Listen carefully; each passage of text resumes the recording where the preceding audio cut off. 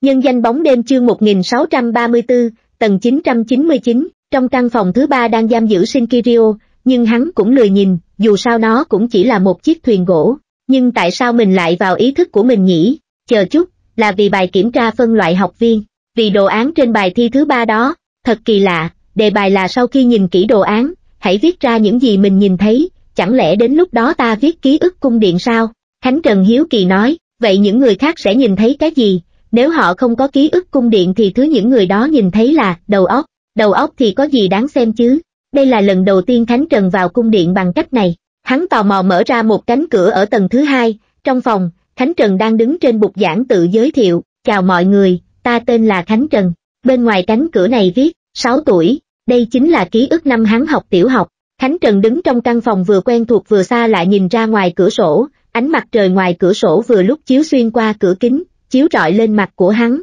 mang đến cảm giác ấm áp. Khánh Trần bước ra khỏi phòng học, nhưng sau khi ra ngoài, trừ lớp học của hắn, tất cả các ngõ ngách khác trong trường đều không một bóng người. Đây chỉ là trí nhớ của ta chứ không phải một thế giới hoàn chỉnh. Khánh Trần cảm thán, nếu sau này có rảnh quay lại đây cũng không tệ. Nhìn khuôn mặt non nớt của mình trên bục giảng, không hiểu sao hắn bỗng cảm thấy hơi buồn cười. Khi đó Khánh Trần làm sao có thể tưởng tượng được những gì hắn sẽ phải trải qua sau này. Lúc này, hắn chợt nhớ ra, thật ra từ trước đến giờ hắn vẫn chưa thể khống chế hoàn toàn cả tòa ký ức cung điện này. Ở đây có một căn phòng, chính hắn cũng không thể mở ra được. Khánh Trần lập tức bước ra khỏi căn phòng này, sau đó leo lên tầng 999. Hắn như một con kiến nhỏ bé không ngừng leo lên phía trước mà không biết mệt. Vì cung điện rất cao nên mỗi lần đi qua một tầng, Khánh Trần phải tốn rất nhiều thời gian mới có thể bước lên. Lúc này nhìn hắn đã không còn giống chủ nhân của tòa cung điện này, mà giống một vị khách hơn. Hắn cũng không biết mình đã đi bao lâu, nhưng khi đến được căn phòng đó, hắn cảm thấy thời gian đã trôi qua rất lâu rồi.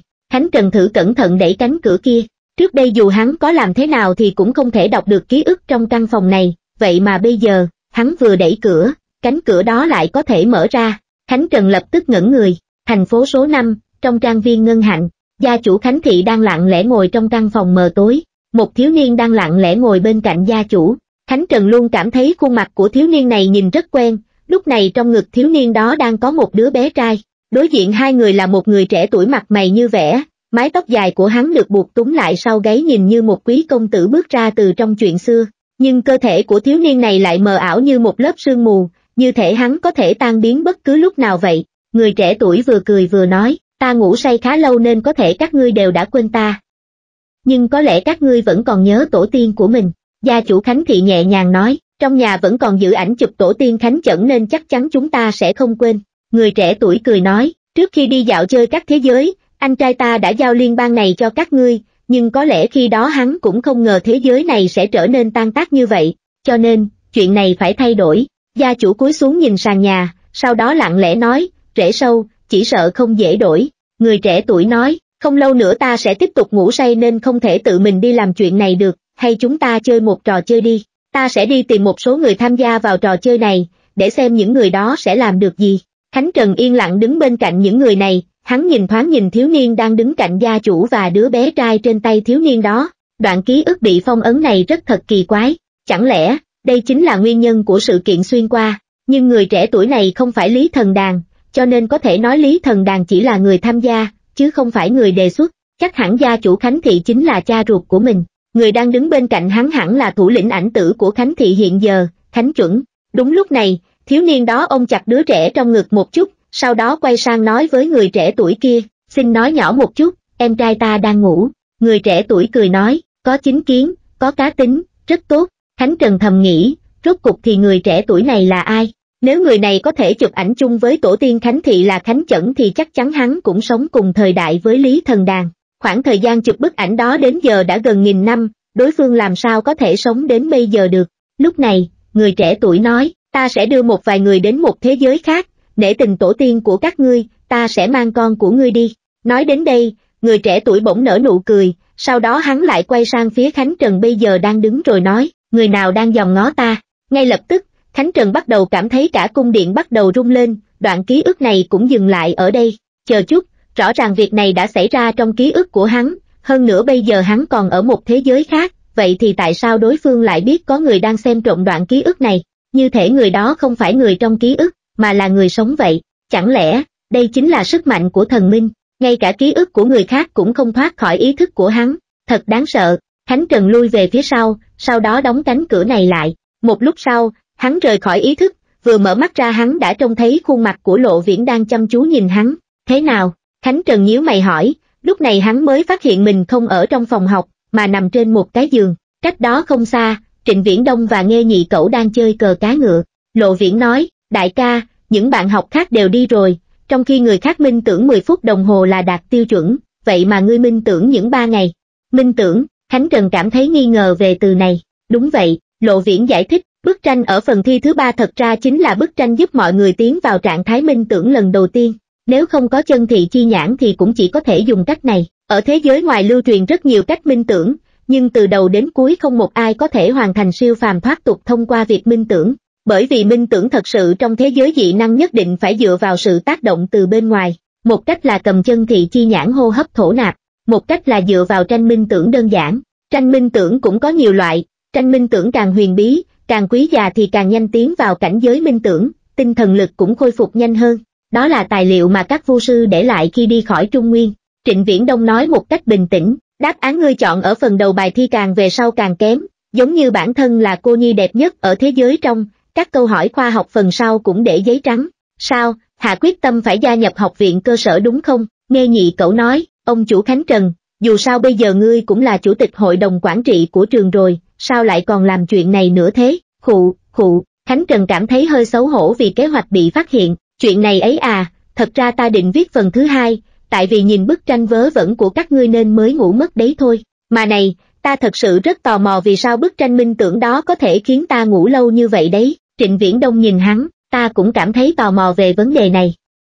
Trong tổ chức Côn Luân, người có thời gian minh tưởng lần đầu tiên lâu nhất cũng chỉ có 21 tiếng, mà ngươi, tính một cách chính xác là 3 ngày rưỡi, 44 tiếng, sắp xuyên không rồi. Nếu ngươi vẫn không tỉnh lại thì ta sợ là phải nghĩ cách đánh thức ngươi, không thể để ngươi mạo hiểm đến thế giới trong trong trạng thái minh tưởng được. Khánh Trần nhớ lại, ở thế giới trong, bên cạnh hắn có ảnh tử, Khánh giả, Khánh khu, giác, nói thật không thể nói là mạo hiểm. Trịnh Viễn Đông hỏi, ngươi nhìn thấy gì trong thế giới minh tưởng? Khánh Trần hỏi ngược lại, thế các ngươi nhìn thấy gì? Nghe nhị cẩu bên cạnh biểu môi, lại muốn bị linh tinh đấy. Trịnh Viễn Đông cười nói, người có thế giới tinh thần càng rộng lớn thì thứ nhìn thấy trong lần đầu tiên minh tưởng sẽ càng khổng lồ, có người thấy một chiếc lá lớn vài trăm mét vuông, cũng có người thấy được một ngọn núi, đương nhiên đó đều là cấp bậc chuyên môn được ghi chép lại truyền thừa vu sư, vô cùng hiếm có. Có lẽ người bình thường sẽ nhìn thấy một chiếc xe địa hình, một chiếc xe máy, một giọt nước, một hạt cát.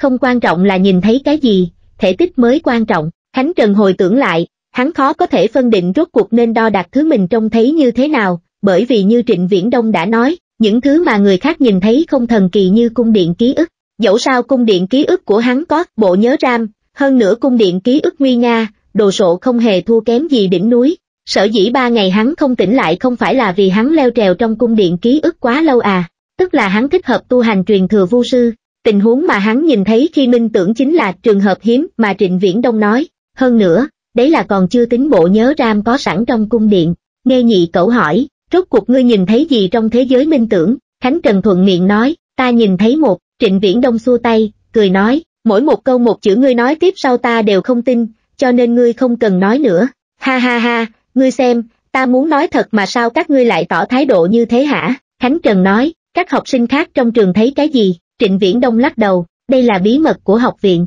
ta là chủ tịch hội đồng trường, nghe nhị cẩu, chấm chấm chấm, Lộ Viễn đứng bên cạnh cảm thấy bất đắc dĩ, sau khi ngươi muốn lẻn vào học viện cơ sở lại không nghĩ mình là chủ tịch hả? Trịnh Viễn Đông suy tư trong chốc lát, rồi cười nói, nói cho ngươi cũng không sao. Trong học viện có một nhóm người ưu tú có thế giới tinh thần cực kỳ rộng lớn, thích hợp tu hành truyền thừa vô sư, có người nhìn thấy một dòng sông chảy xiết không ngừng nghỉ, có người thấy được một con thác đổ ào ào, có người lại thấy một trận tuyết lớn, cũng có người trông thấy cảnh sa mạc.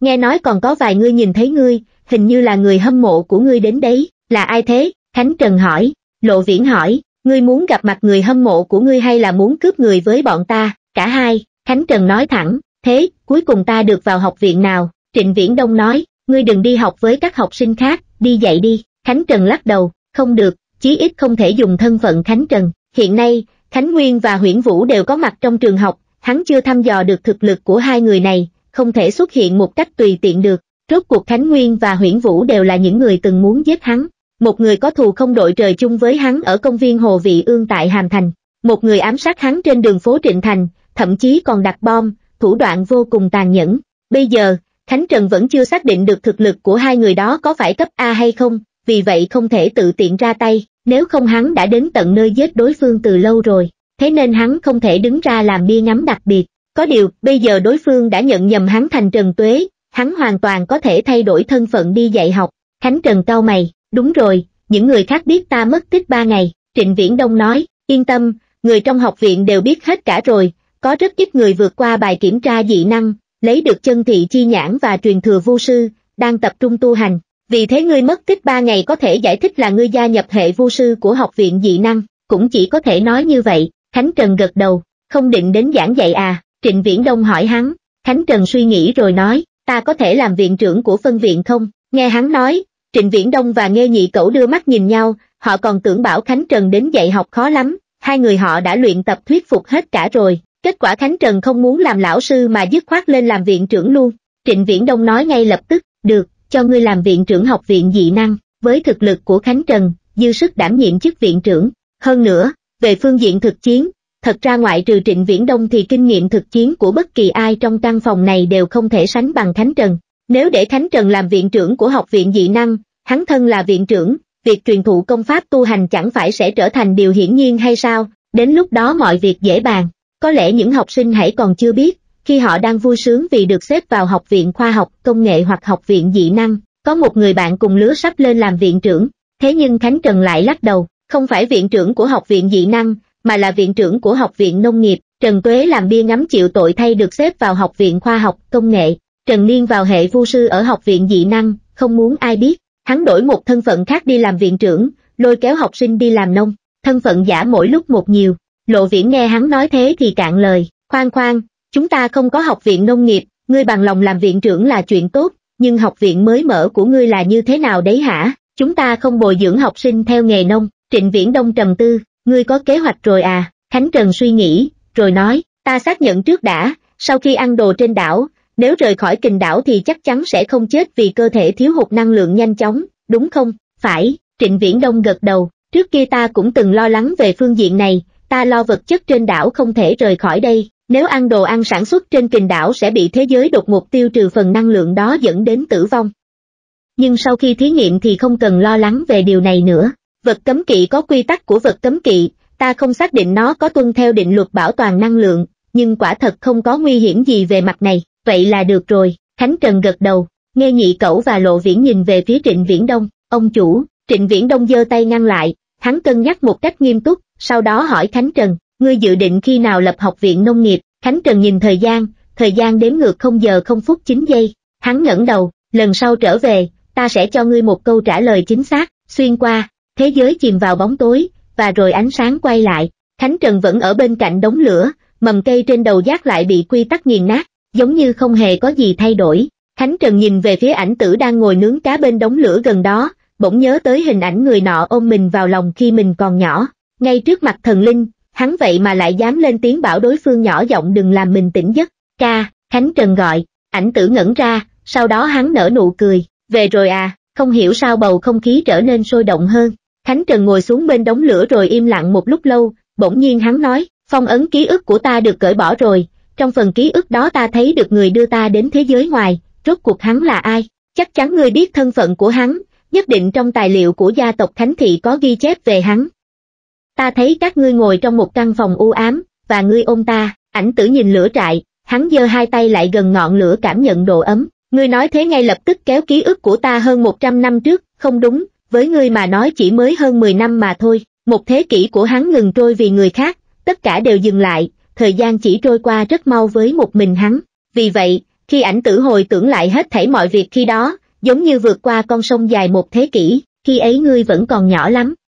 Thật ra, lần đầu tiên ta nhìn thấy người đó là trong bức ảnh mà gia tộc lưu giữ, trong ảnh có nhâm tiểu tức, có tổ tiên thánh chẩn, có thành viên của kỵ sĩ Lý ứng Duẩn, Tần Sên, có một người tên là P5092, còn có tư lệnh quân Tây Bắc Trương Cảnh Lâm, sau khi chiến thắng AI Zero, rất nhiều người đã dùng máy chụp ảnh kiểu cũ chụp một tấm hình chung, kỷ niệm thắng lợi khi ấy. trong đó có người đã đưa ngươi đến thế giới ngoài, Nhan Lục Nguyên, Khánh Trần Lục tìm trong ký ức, cuối cùng cũng tìm được cái tên này. Trong tài liệu ở học đường Lý Thị có ghi lại, người đó từng là chủ nhân của vùng Thảo Nguyên trong vương đình rộng lớn ở phía Bắc Liên bang. Dưới sự hướng dẫn của hắn, dân du mục trên Thảo Nguyên thoát ly liên bang, sau đó thành lập phòng tuyến trên Thảo Nguyên, ngăn chặn những kẻ mang di phương Bắc, cho đến khi dân mang di khát máu bị diệt sạch hoàn toàn, Nhan Lục Nguyên lại dẫn những người dân sống trên Thảo Nguyên trở lại liên bang, còn hắn cùng với một người phụ nữ tên Lý Tiểu Ngọc biến mất không rõ tung tích, ảnh tử lấy gậy gãy đống lửa, bên trong tập đoàn tài chính chỉ có một người được công nhận là thần, nhưng ngoài ra còn có ba người gần với thần nhất là Lý Thần Đần, Trần Vô Địch, Nhan Lục Nguyên, ý chí của họ chạm đến ranh giới dung hợp với ý chí của thế giới.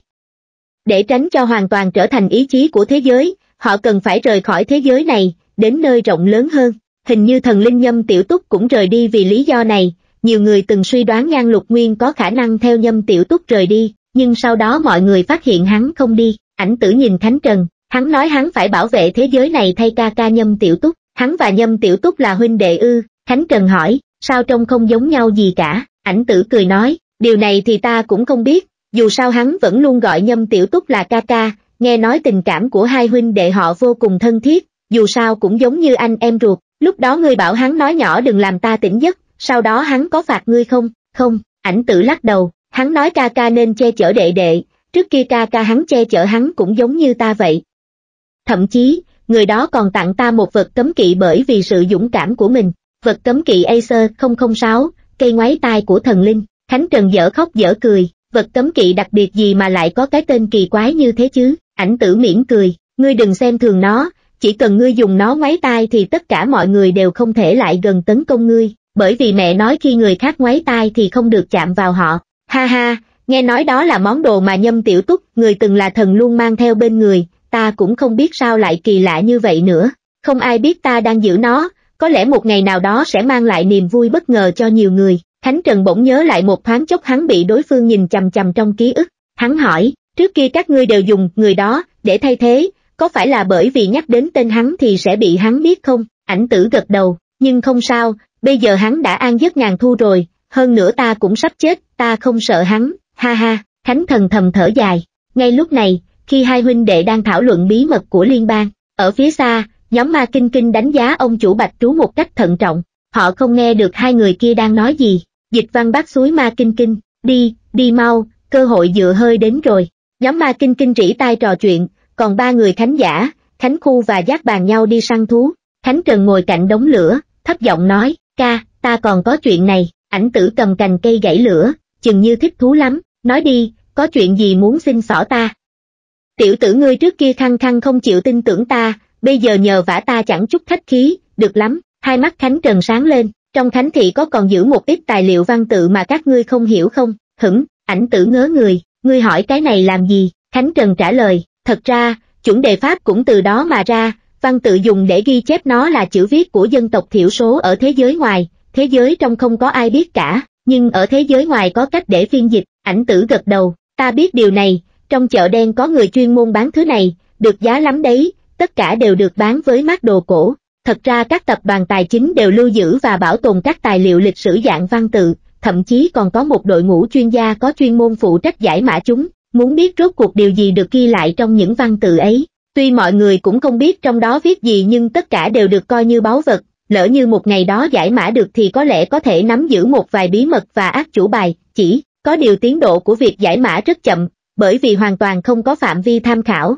Khánh Trần thầm nghĩ, thế chẳng phải cũng giống như thế giới ngoài cố gắng giải mã những văn tự cổ của nền văn minh đã mất hay sao? Ảnh tử nói tiếp, những tài liệu cổ không phải đến từ kỷ nguyên văn minh trước, mà là trước đó nữa kia, lục địa liên bang từng trải qua hai tai họa lớn. Lần đầu tiên là mùa đông hạt nhân, sau tai họa đó, loài người thành lập thành lũy trên mảnh đất đã bị phá hủy để bảo vệ bản thân. Vì vậy liên bang ra lệnh cấm toàn bộ hành động nghiên cứu vũ khí hạt nhân, ai nghiên cứu thì những người khác sẽ đánh người đó. Tuy rằng mọi người đều đang lén lút nghiên cứu và phát triển nó, lần thứ hai nền văn minh bị đe dọa là do cuộc khủng hoảng Omnic, thế nên hiện nay trong liên bang không được phép phát triển sinh mệnh AI thật sự. Bởi vậy, những tài liệu mà ảnh tử nói đều tồn tại từ trước mùa đông hạt nhân, cũng chính là thời đại mà người sáng lập của kỵ sĩ Nhâm Hòa sinh sống. Tài liệu ra đời cách nay hơn 1.200 năm, tương đương với văn vật thời đường ở thế giới ngoài. thậm chí còn có một nhóm người trong chợ đen chuyên môn làm giả văn vật, gần như có thể lấy hàng giả đánh tráo. Tuy nhiên người làm giả cũng không hiểu chữ trên những văn vật ấy có nghĩa là gì.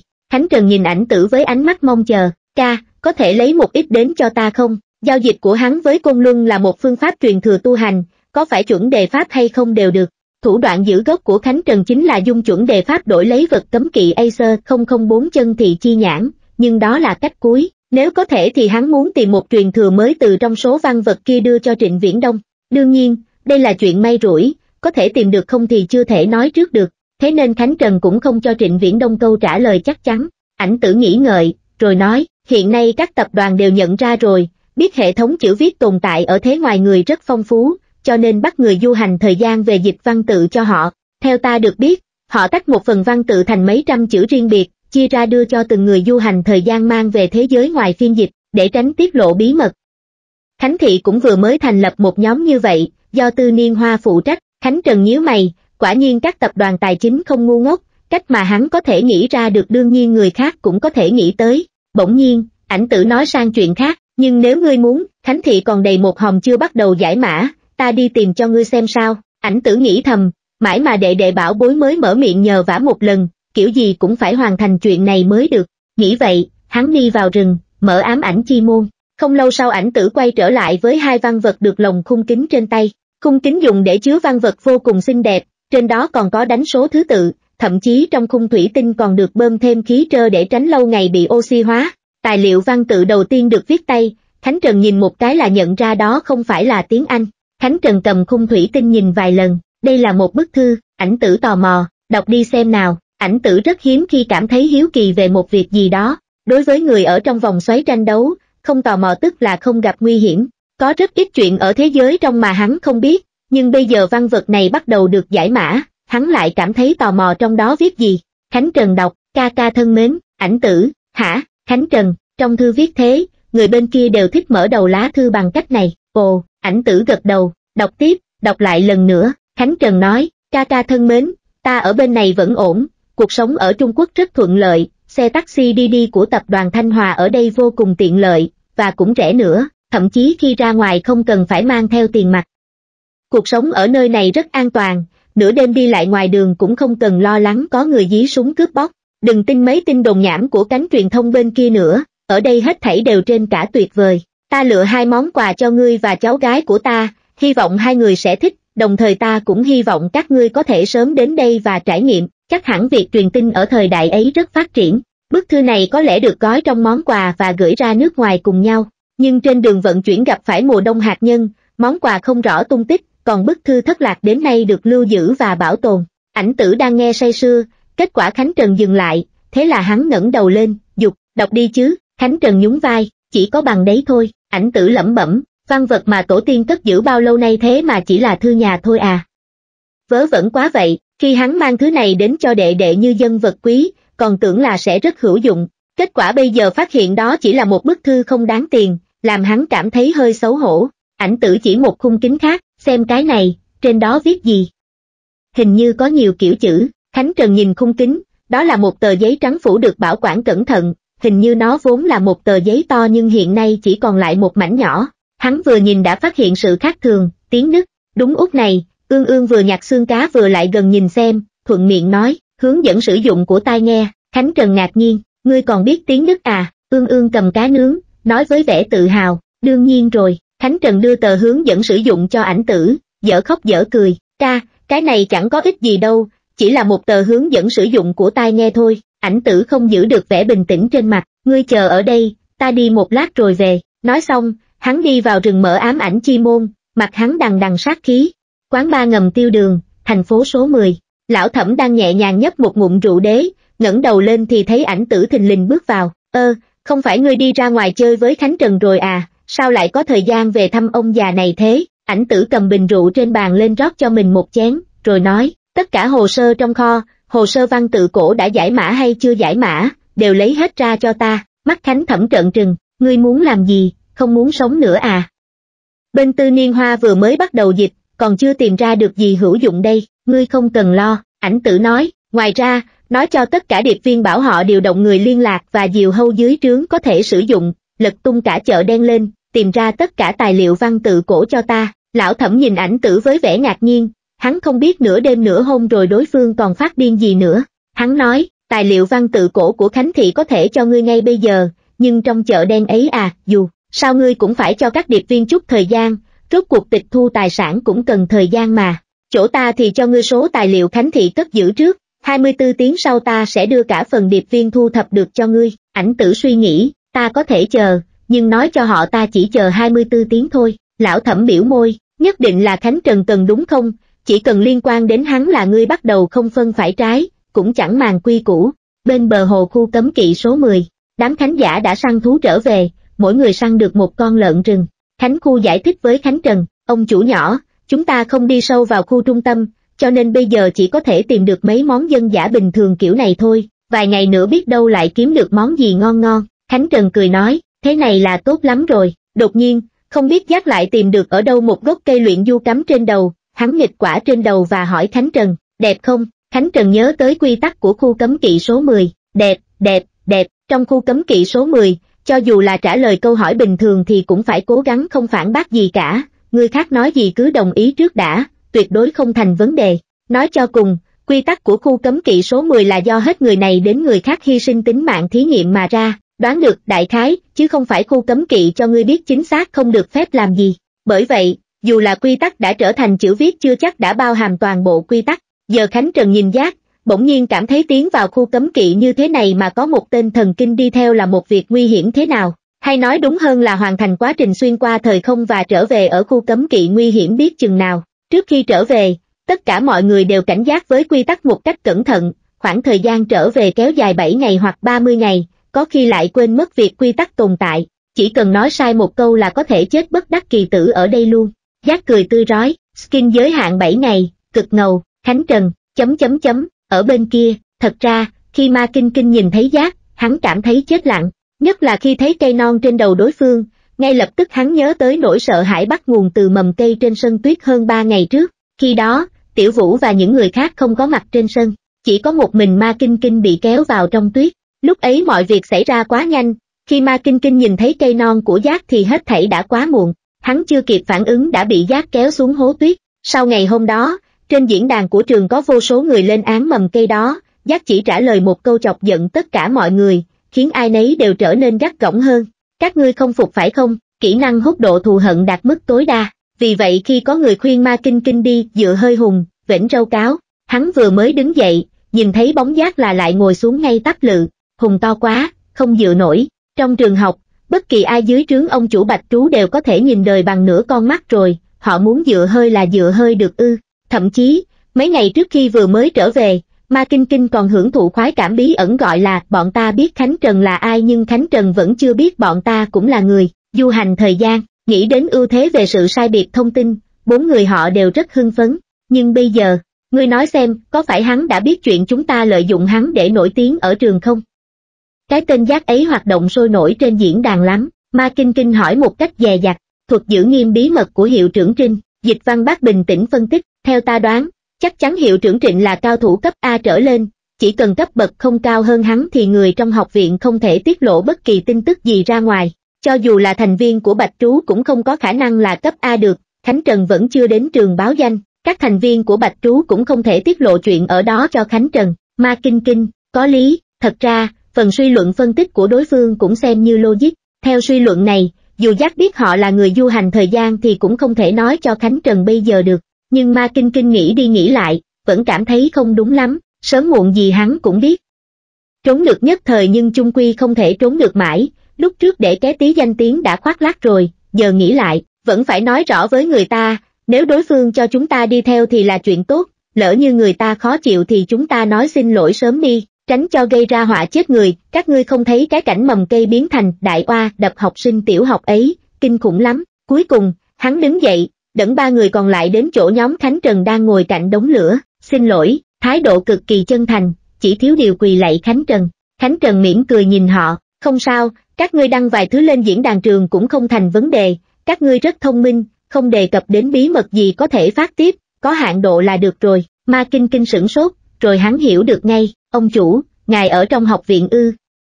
Tất cả đều nói ngài vẫn chưa đến báo danh, ta ở trường, Khánh Trần mỉm cười, gật đầu, dịch văn bác có được tư duy nhạy bén, ngụy trang, ma kinh kinh hiểu ra, hắn hỏi với giọng tò mò, thân phận của ngài ở trường là gì, à không đúng, nếu ngài không tiện trả lời thì ta có thể hỏi ngài được xếp vào học viện nào không, ngài cảm thấy học viện nào tốt, Khánh Trần suy nghĩ rồi trả lời, ta nhập học học viện khoa học công nghệ, Trần Tuế được xếp vào học viện khoa học công nghệ, hiện tại, Khánh Trần muốn lợi dụng họ để chứng thực suy đoán của vài người về thân phận của hắn, để Trần Tuế chịu tội thay được chắc chắn hơn. Khi họ đang nói chuyện, ảnh tử lại đi từ trong rừng ra, đồng thời còn ôm theo một chồng tài liệu dày. Đến đây, xem xem có thứ mà ngươi muốn không. Ảnh tử bê chồng tài liệu kia đi ra từ trong rừng, sau đó ngồi xuống bên đống lửa. Nhóm ma kinh kinh ngẩn ngơ nhìn cảnh này. Tuy họ nhìn thấy ảnh tử đi qua đi lại giữa rừng cây với đống lửa, nhưng cũng không suy nghĩ cẩn thận xem rốt cuộc ảnh tử đi đâu. Bây giờ, giữa khu cấm kỵ hoang vu vắng lặng, đối phương ôm một chồng tài liệu chẳng biết từ đâu ra về,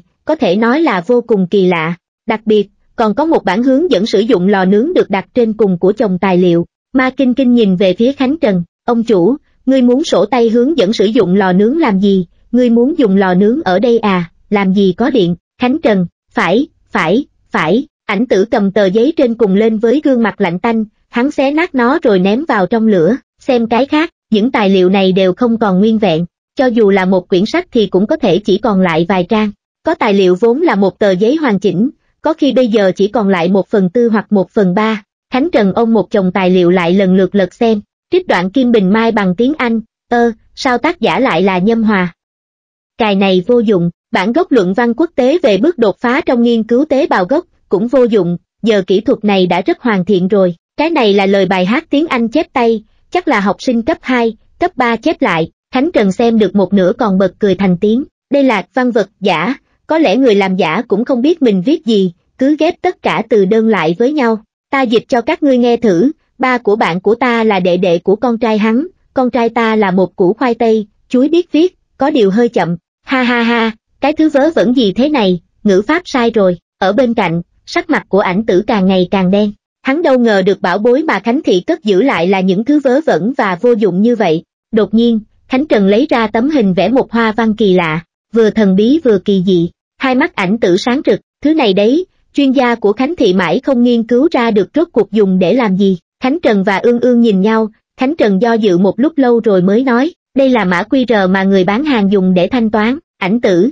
chấm hỏi, Khánh Trần kiên nhẫn giải thích, thế giới trong dùng mã OTP đa nguyên, trực tiếp nhảy qua giai đoạn mã QR rồi, cho nên các ngươi không biết nó dùng để làm gì là bình thường thôi, nó thật sự quá lạc hậu với các ngươi rồi, ảnh tử nghe xong, đệ đệ còn biết an ủi người khác cơ đấy. Khánh Trần lựa toàn bộ tài liệu tiếng Anh trong chồng tài liệu ném vào trong ngọn lửa, số tài liệu còn lại là hệ thống chữ viết mà ngay cả hắn cũng không hiểu, chẳng hạn như tiếng Pháp, tiếng Tây Ban Nha, vân vân. Khánh Trần nói, mấy thứ này ta ghi nhớ trước, phải trở về thế giới ngoài phiên dịch lại, để xem rốt cuộc là cái gì. Ảnh tử nghe hắn nói thế thì cảm thấy có triển vọng, tức khắc hy vọng bùng lên trong lòng, thế như ương ương lại gần, mấy ngôn ngữ đó ta đều biết hết, đây là áp phích quảng cáo, đây là bản dập văn bia, trên bia viết tế tổ rồi bày tỏ lòng nhung nhớ gì đó, đây là tài liệu phê duyệt của hải quan, sao lại còn có một quyển tiểu thuyết đại vương tha mạng tiếng thái thế này, Khánh Trần nhìn ương ương, sao ngươi biết nhiều thứ tiếng vậy, chỉ trong một chốc vừa rồi.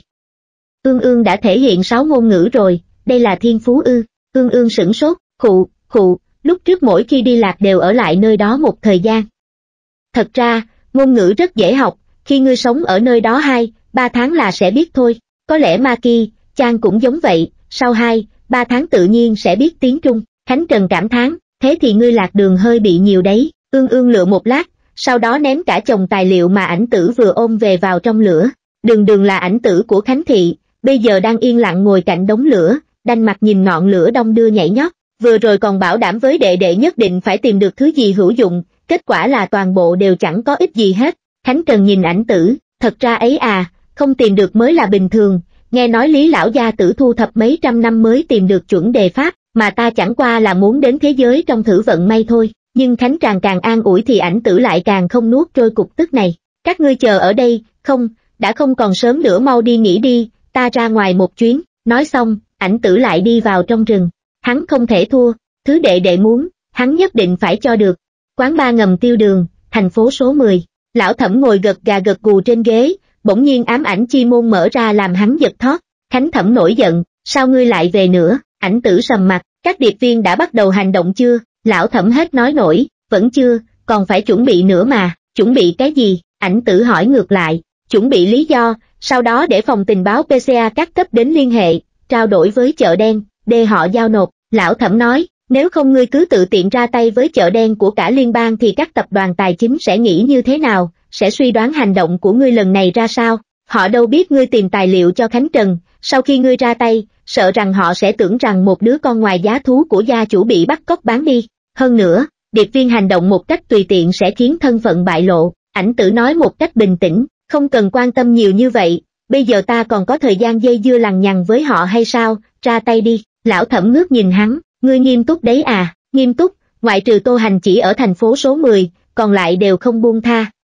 Không cần các điệp viên ra tay, bảo họ ẩn nấp cho kỹ, ảnh tử nói, dù sao cũng là vốn liếng để dành cho Khánh Trần, không thể bị ta hao hụt hết được, hả, lão thẩm sửng sốt, vậy ngươi muốn dùng ai ra tay, ảnh tử nói, ta điều động đội quân ảnh tử, sơ hờ hờ hờ, lão thẩm vô cùng kinh hãi, lần này thì hay rồi, các tập đoàn khác sẽ cho rằng gia chủ của chúng ta bị lừa bán, ảnh tử cười nói, đừng lo lắng vậy chứ, ta chỉ muốn tìm ít đồ mà thôi, trong đêm nay, tại các thành phố bỗng xuất hiện một đội quân ảnh tử mặc đồ đen đi ra từ nhà an toàn của tổ chức điệp viên thuộc thánh Thị, ảnh tử sử dụng ám ảnh chi môn, đưa từng đội đến các ngóc ngách của liên bang. Những chiến sĩ ghen cấp B trong đội quân ảnh tử đi thẳng đến chợ đen mà không thèm mang vũ khí. Điệp viên đã thu thập đủ loại tin tức ai đang giữ văn vật văn hiến, kinh doanh buôn bán ở đâu, có vũ khí hạng nặng không, nhà có mấy người, có trẻ con không, cho lão thẩm, lão thẩm lại giao cho ảnh tử. Ảnh tử biết rõ, những kẻ kinh doanh chợ đen đương nhiên trên tay đều dính máu, trong liên bang không có được mấy người còn chút nguyên tắc như tô hành chỉ,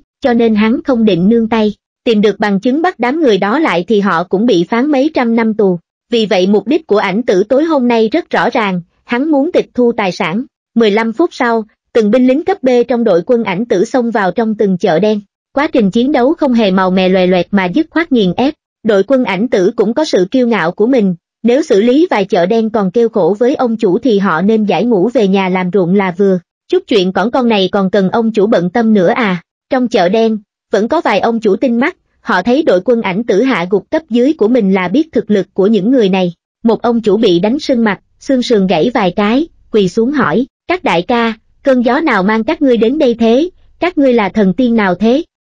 Dừng phép thần thông lại đi, binh sĩ trong đội quân ảnh tử hỏi, tài liệu lịch sử thần bí ngươi triển lãm trước kia đâu rồi, ông chủ này quỳ mọc xuống, vô cùng đau đớn, ngài muốn gì cứ nói thẳng, ngài nói thẳng ta sẽ cho ngài luôn mà, ngài xem ngài đánh ta này, nói nhảm ít thôi, binh sĩ nói, nhanh lên, chỉ dùng nửa tiếng, đội quân ảnh tử đã thu quân. Ảnh tử cười hít mắt đón từng người về nơi đóng quân, sau đó cầm lấy tài liệu họ lấy được khi tịch thu tài sản, mọi người vất vả rồi, cuối tháng có tiền thưởng, các thành viên trong đội quân ảnh tử hãy còn ngượng ngùng, không cần đâu ông chủ, chút chuyện nhỏ này làm xong ngay ấy mà, sao bọn ta có thể không biết xấu hổ mà lấy tiền thưởng được, không sao, ta vui, ảnh tử nói, lúc này, hành động của đội quân ảnh tử đã quấy nhiễu nhiều thế lực. Đợt hành động này có vài đặc điểm, thực lực của mỗi người đều cực cao, xuất hiện ở khắp các thành phố, toàn bộ chợ đen trong liên bang đều bị thiệt hại nặng nề. Nếu nói chuyện này do tập đoàn tài chính nào đó dày công lập kế hoạch thì còn có thể làm được, nhưng người nào có thể ra tay âm thầm và bất ngờ,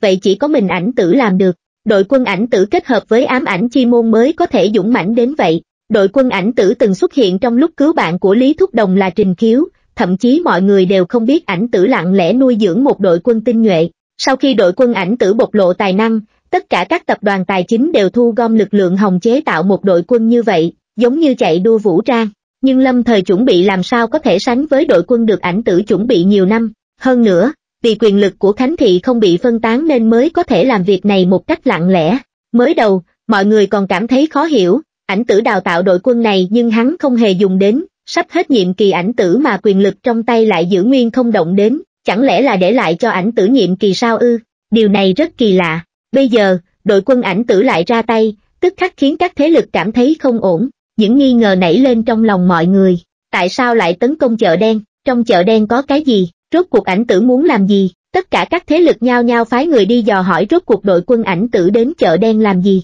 Kết quả khi họ biết được ảnh tử muốn tìm tài liệu được lưu truyền từ nền văn minh trước đó, bỗng chốc cảm thấy có lẽ trong những tài liệu này cất giấu bí mật to lớn. Thế là mọi người hành động, có thế lực lập tức chuyển tài liệu lịch sử mình có vào nhà an toàn. có thế lực treo giải thưởng, ra giá cao thu mua tài liệu lịch sử, thậm chí còn có người xới tung chợ đen lên lần nữa. Nhiều ông chủ chợ đen bỏ nhà luôn, lái xe địa hình rời khỏi thành phố mình sinh sống ngay trong đêm, lang thang hoang dã. Liên bang xử lý chợ đen không biết bao nhiêu lần mà còn không hữu hiệu bằng hành động tàn nhẫn của ảnh tử lần này. Ảnh tử của Khánh Thị chính là nhân vật mà chỉ một cử động nhỏ cũng có thể khiến cả liên bang chấn động. Lúc này, Khánh Trần đang ngủ say không hề hay biết, rốt cuộc biết bao nhiêu chuyện đã xảy ra trong đêm nay. Hắn cũng không biết, vì một nguyện vọng của mình đã khiến biết bao người không ngủ đêm nay. Tài liệu này không có tác dụng gì, tài liệu này cũng vô dụng, ca, hơn một nửa số tài liệu ở đây đều là văn vật giả do thương nhân chợ đen giả tạo. Sáng sớm, Khánh Trần ngồi ven hồ, vừa sàng lọc tài liệu mà ảnh tử mang về vừa ngẩng đầu quan sát vẻ mặt của ảnh tử một cách cẩn thận.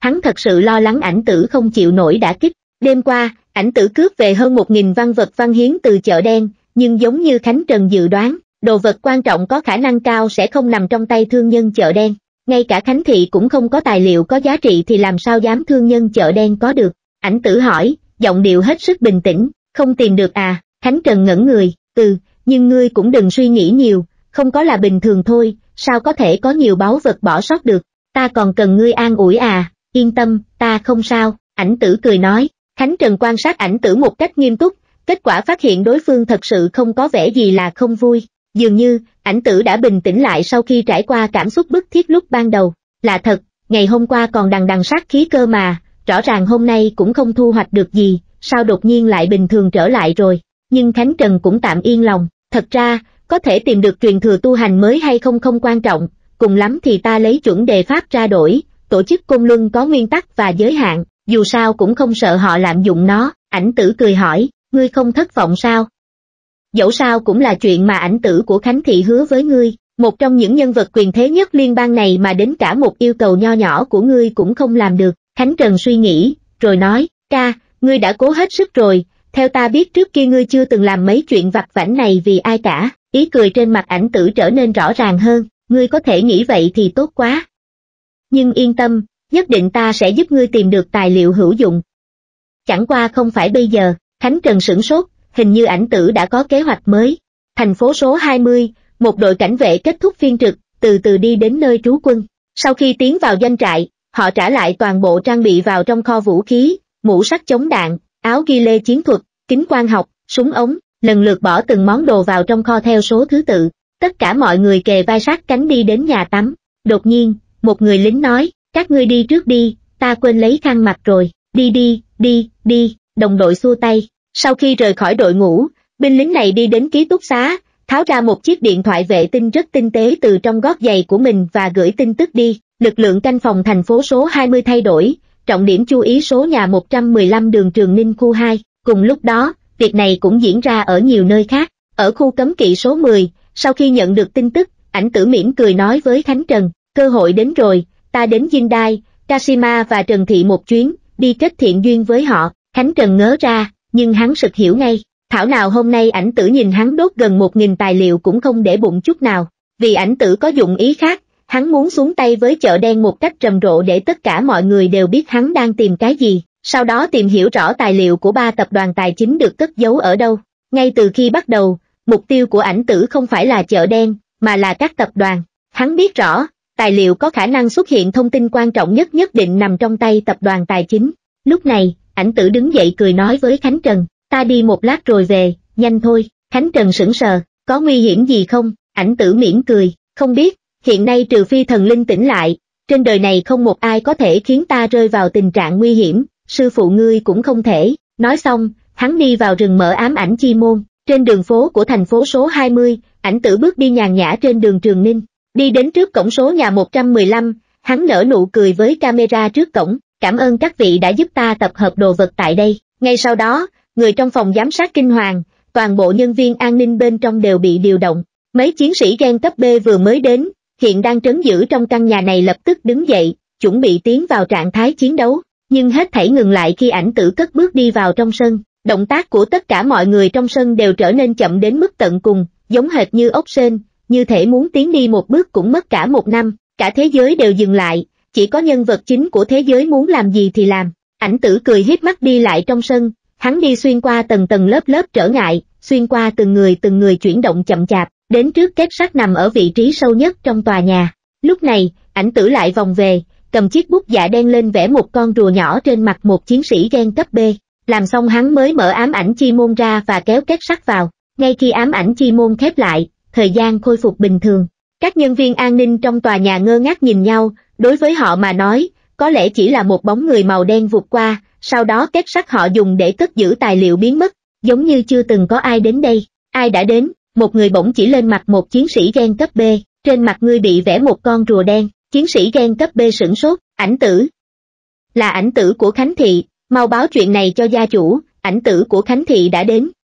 Chúng ta bị lừa rồi, chỉ có ảnh tử mới có được năng lực khủng bố như vậy, ảnh tử của Khánh Thị hiếm khi đích thân ra tay, trong ấn tượng của mọi người hầu hết mọi lúc hắn ở phía sau màn bày mưu lập kế, rất ít người thấy hắn chiến đấu, lần nào ra tay cũng cực kỳ cẩn thận, nhưng lần này lại khác, ảnh tử tự mình ra trận, có người trong tòa nhà vội vàng đi gọi điện thoại báo cáo việc này với cấp trên, nhưng họ không hiểu, đường đường là ảnh tử của Khánh Thị, tại sao đối phương lại tự mình chạy đến địa bàn của Jindai và dùng năng lực cực mạnh giống như chúa tể của mình để trộn, một chiếc kết sắt, thân là ảnh tử lại đi ăn cướp.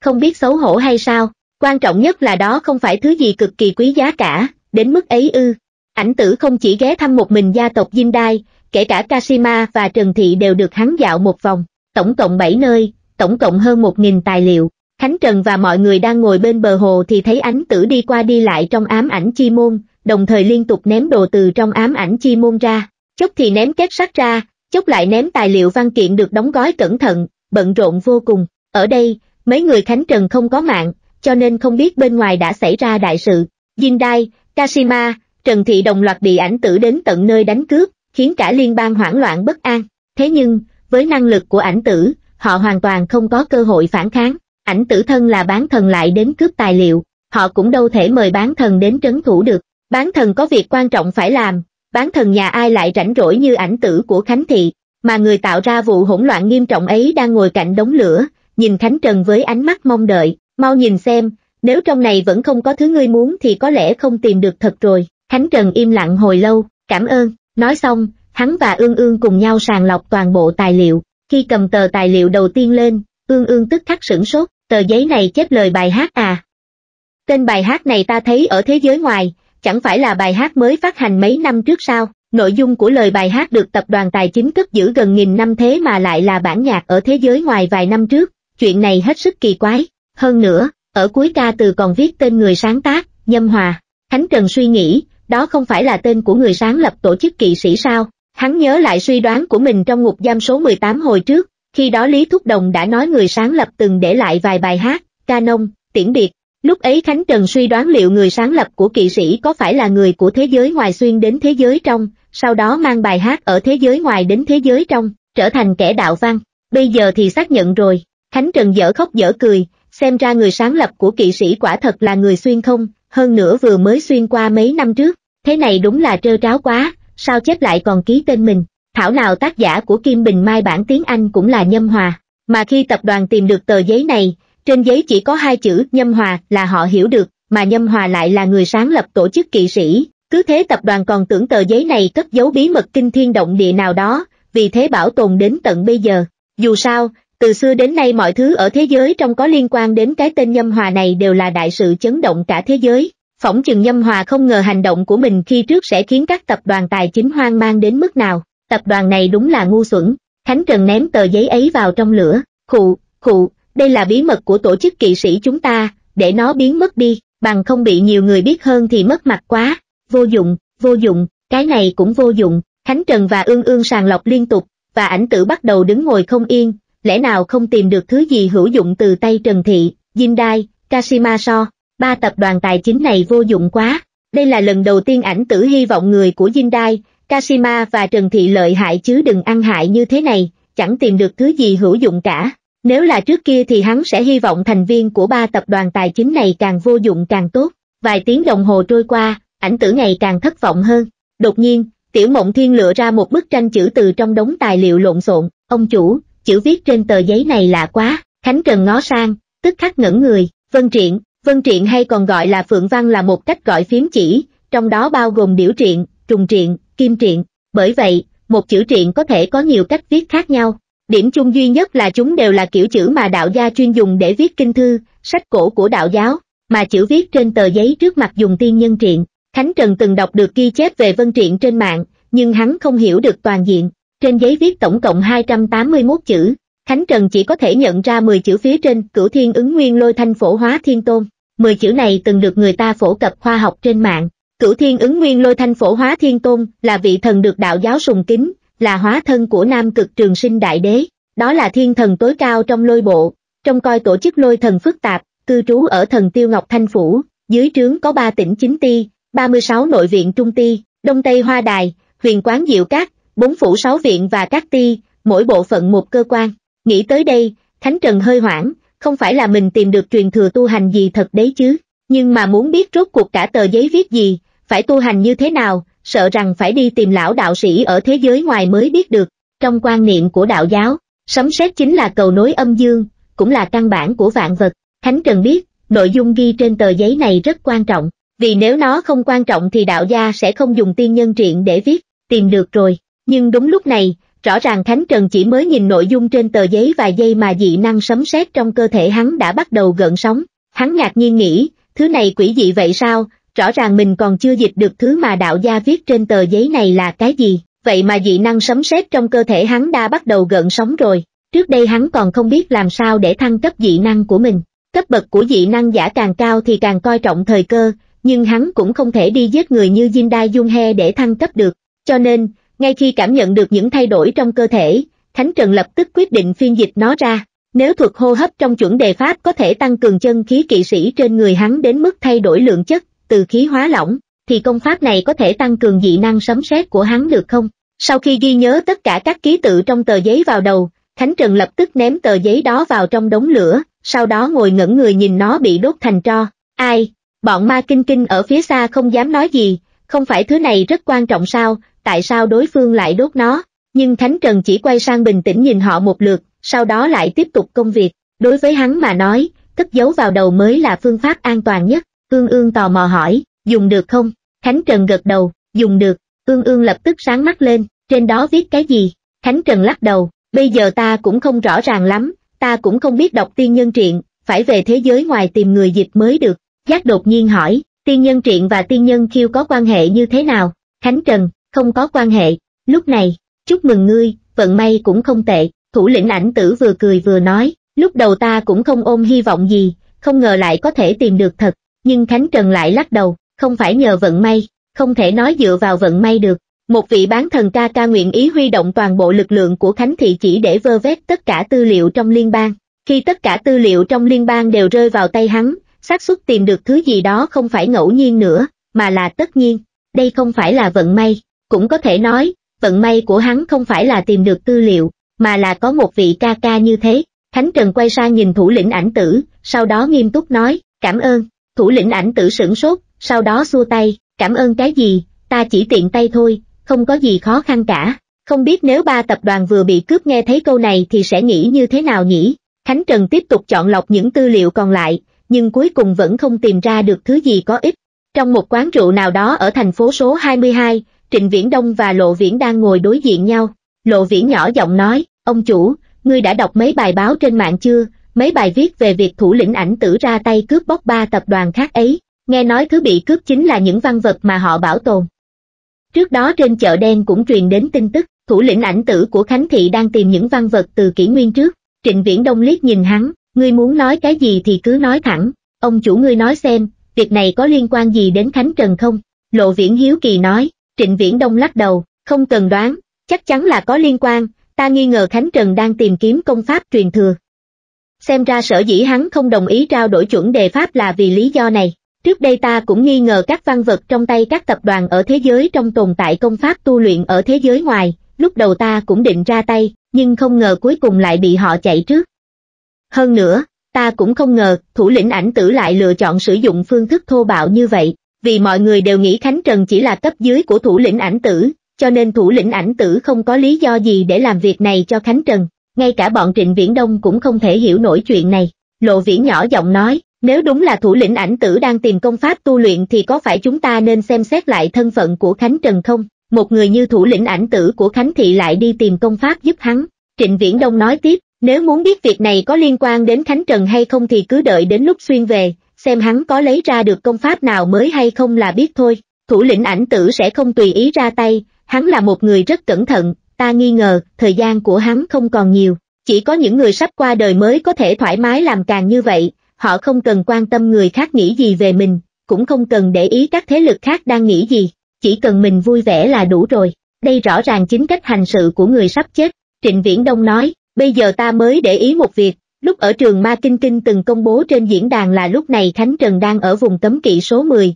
chắc chắn bây giờ họ còn chưa rời khỏi đó, mà tổ chức bàn quan giả đã phát hiện, quân đội dưới chướng Trần Thị đang lấy danh nghĩa diễn tập để áp sát vùng đất đó. Vừa rồi có người tận mắt thấy bán thần của Trần Thị là Trần Dư bước lên một con trâu đen rồi bay lên trời, rời khỏi thành phố số 7. Lộ Viễn đang nghe truyện trên TV audio CV sửng sốt, không phải hắn rất ít khi rời khỏi đó sao? Trịnh Viễn Đông ngưng trọng nói, căn cứ vào thuyết âm mưu được truyền bá trên Internet, nơi Trần Dư muốn đến chính là vùng cấm kỵ số 10. Không chỉ Trần Dư, bên phía Kashima và Jindai cũng có rất nhiều cao thủ biến mất, mấy quân đoàn đặc chủng dưới chướng Jindai và Kashima đồng loạt lấy danh nghĩa diễn tập để rời khỏi trụ sở, không ai biết họ đi đâu, thời gian tới có lẽ thế giới trong sẽ xảy ra rất nhiều chuyện.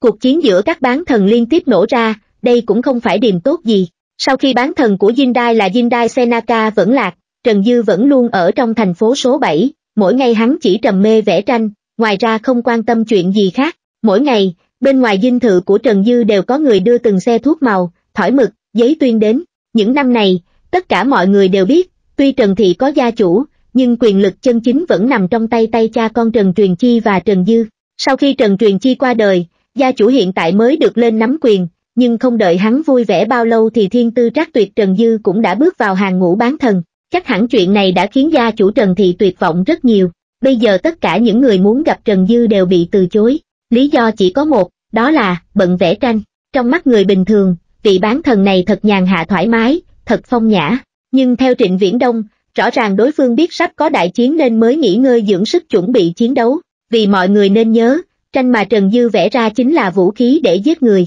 Lúc này, trước cửa quán rượu xuất hiện mấy người, người cầm đầu chính là Trương Thanh Hoang và Tiểu Thất. Tiểu Thất cười hít mắt nói với ông chủ quán rượu, đến ngày nộp phí bảo hộ tháng này rồi. Trước đây, mỗi lần thấy các thành viên câu lạc bộ đến thu phí bảo hộ, ông chủ quán rượu đều mặc ủ mày chau, vì khoản tiền cần giao nộp đó rất lớn, nên ai cũng không vui. Đương nhiên, không vui thì không vui, nhưng họ vẫn phải nộp, vì từ trước đến nay, thu phí bảo hộ chính là tập tục của khu Hạ Tam, chỉ là câu lạc bộ đi thu thường thay đổi mà thôi. Nhưng Lộ Viễn lại phát hiện, lúc nhìn thấy bọn tiểu thất đến thu phí bảo hộ, ông chủ quán rượu không những không buồn bực mà còn cười hiếp mắt nói, tiểu thất tới à, ta chuẩn bị tiền xong rồi, hay các ngươi cứ ngồi xuống uống hai chén.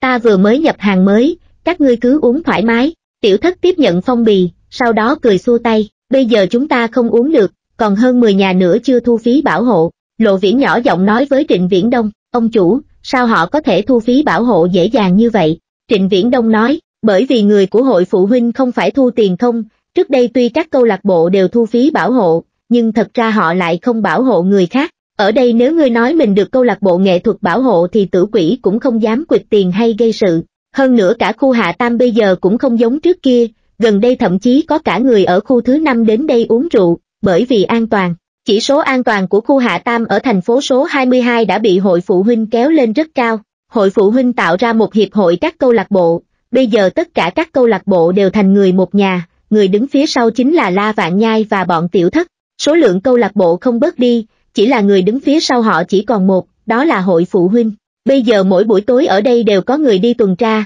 không cần biết ở đâu xảy ra chuyện, chỉ cần gọi đến đường dây nóng của Liên hiệp hội các câu lạc bộ, 10 phút sau chắc chắn sẽ có người đến giải quyết tranh chấp. Đường dây nóng này rất giống 113 của thế giới ngoài, chỉ cần gọi đến chắc chắn sẽ có người đến giải quyết, cho nên thứ mà khu thứ tư, năm sáu không làm được, những khu hạ tam lại làm được. Bây giờ người dân ở những khu xung quanh nếu muốn đi uống rượu đêm sẽ không đến những quán rượu trong khu của mình mà đến thẳng đây, bởi vì ở đây dù ngươi có say mềm nằm trên đường thì cũng không sợ bị người khác trộm mất thận. Dù ngươi có bị trộm mất tiền thì hội phụ huynh cũng sẽ vận dụng hệ thống camera ở khắp nơi để tìm ra tên trộm đó, sau đó trả tiền cho ngươi. Ở đây, người dân rất phối hợp với họ. Việc làm ăn của những người có cửa hàng ở khu Hạ Tam cũng càng ngày càng tốt. Nhưng đúng lúc này, ông chủ quán rượu thì thầm, ta chưa nhìn thấy hai người đang ngồi ở chỗ kia bao giờ, rất có thể là ngươi nơi khác đến. tiểu thất nhướng mày, sau đó cười cười hít mắt nói với Trịnh Viễn Đông, hai vị lão ca là người ở đâu vậy?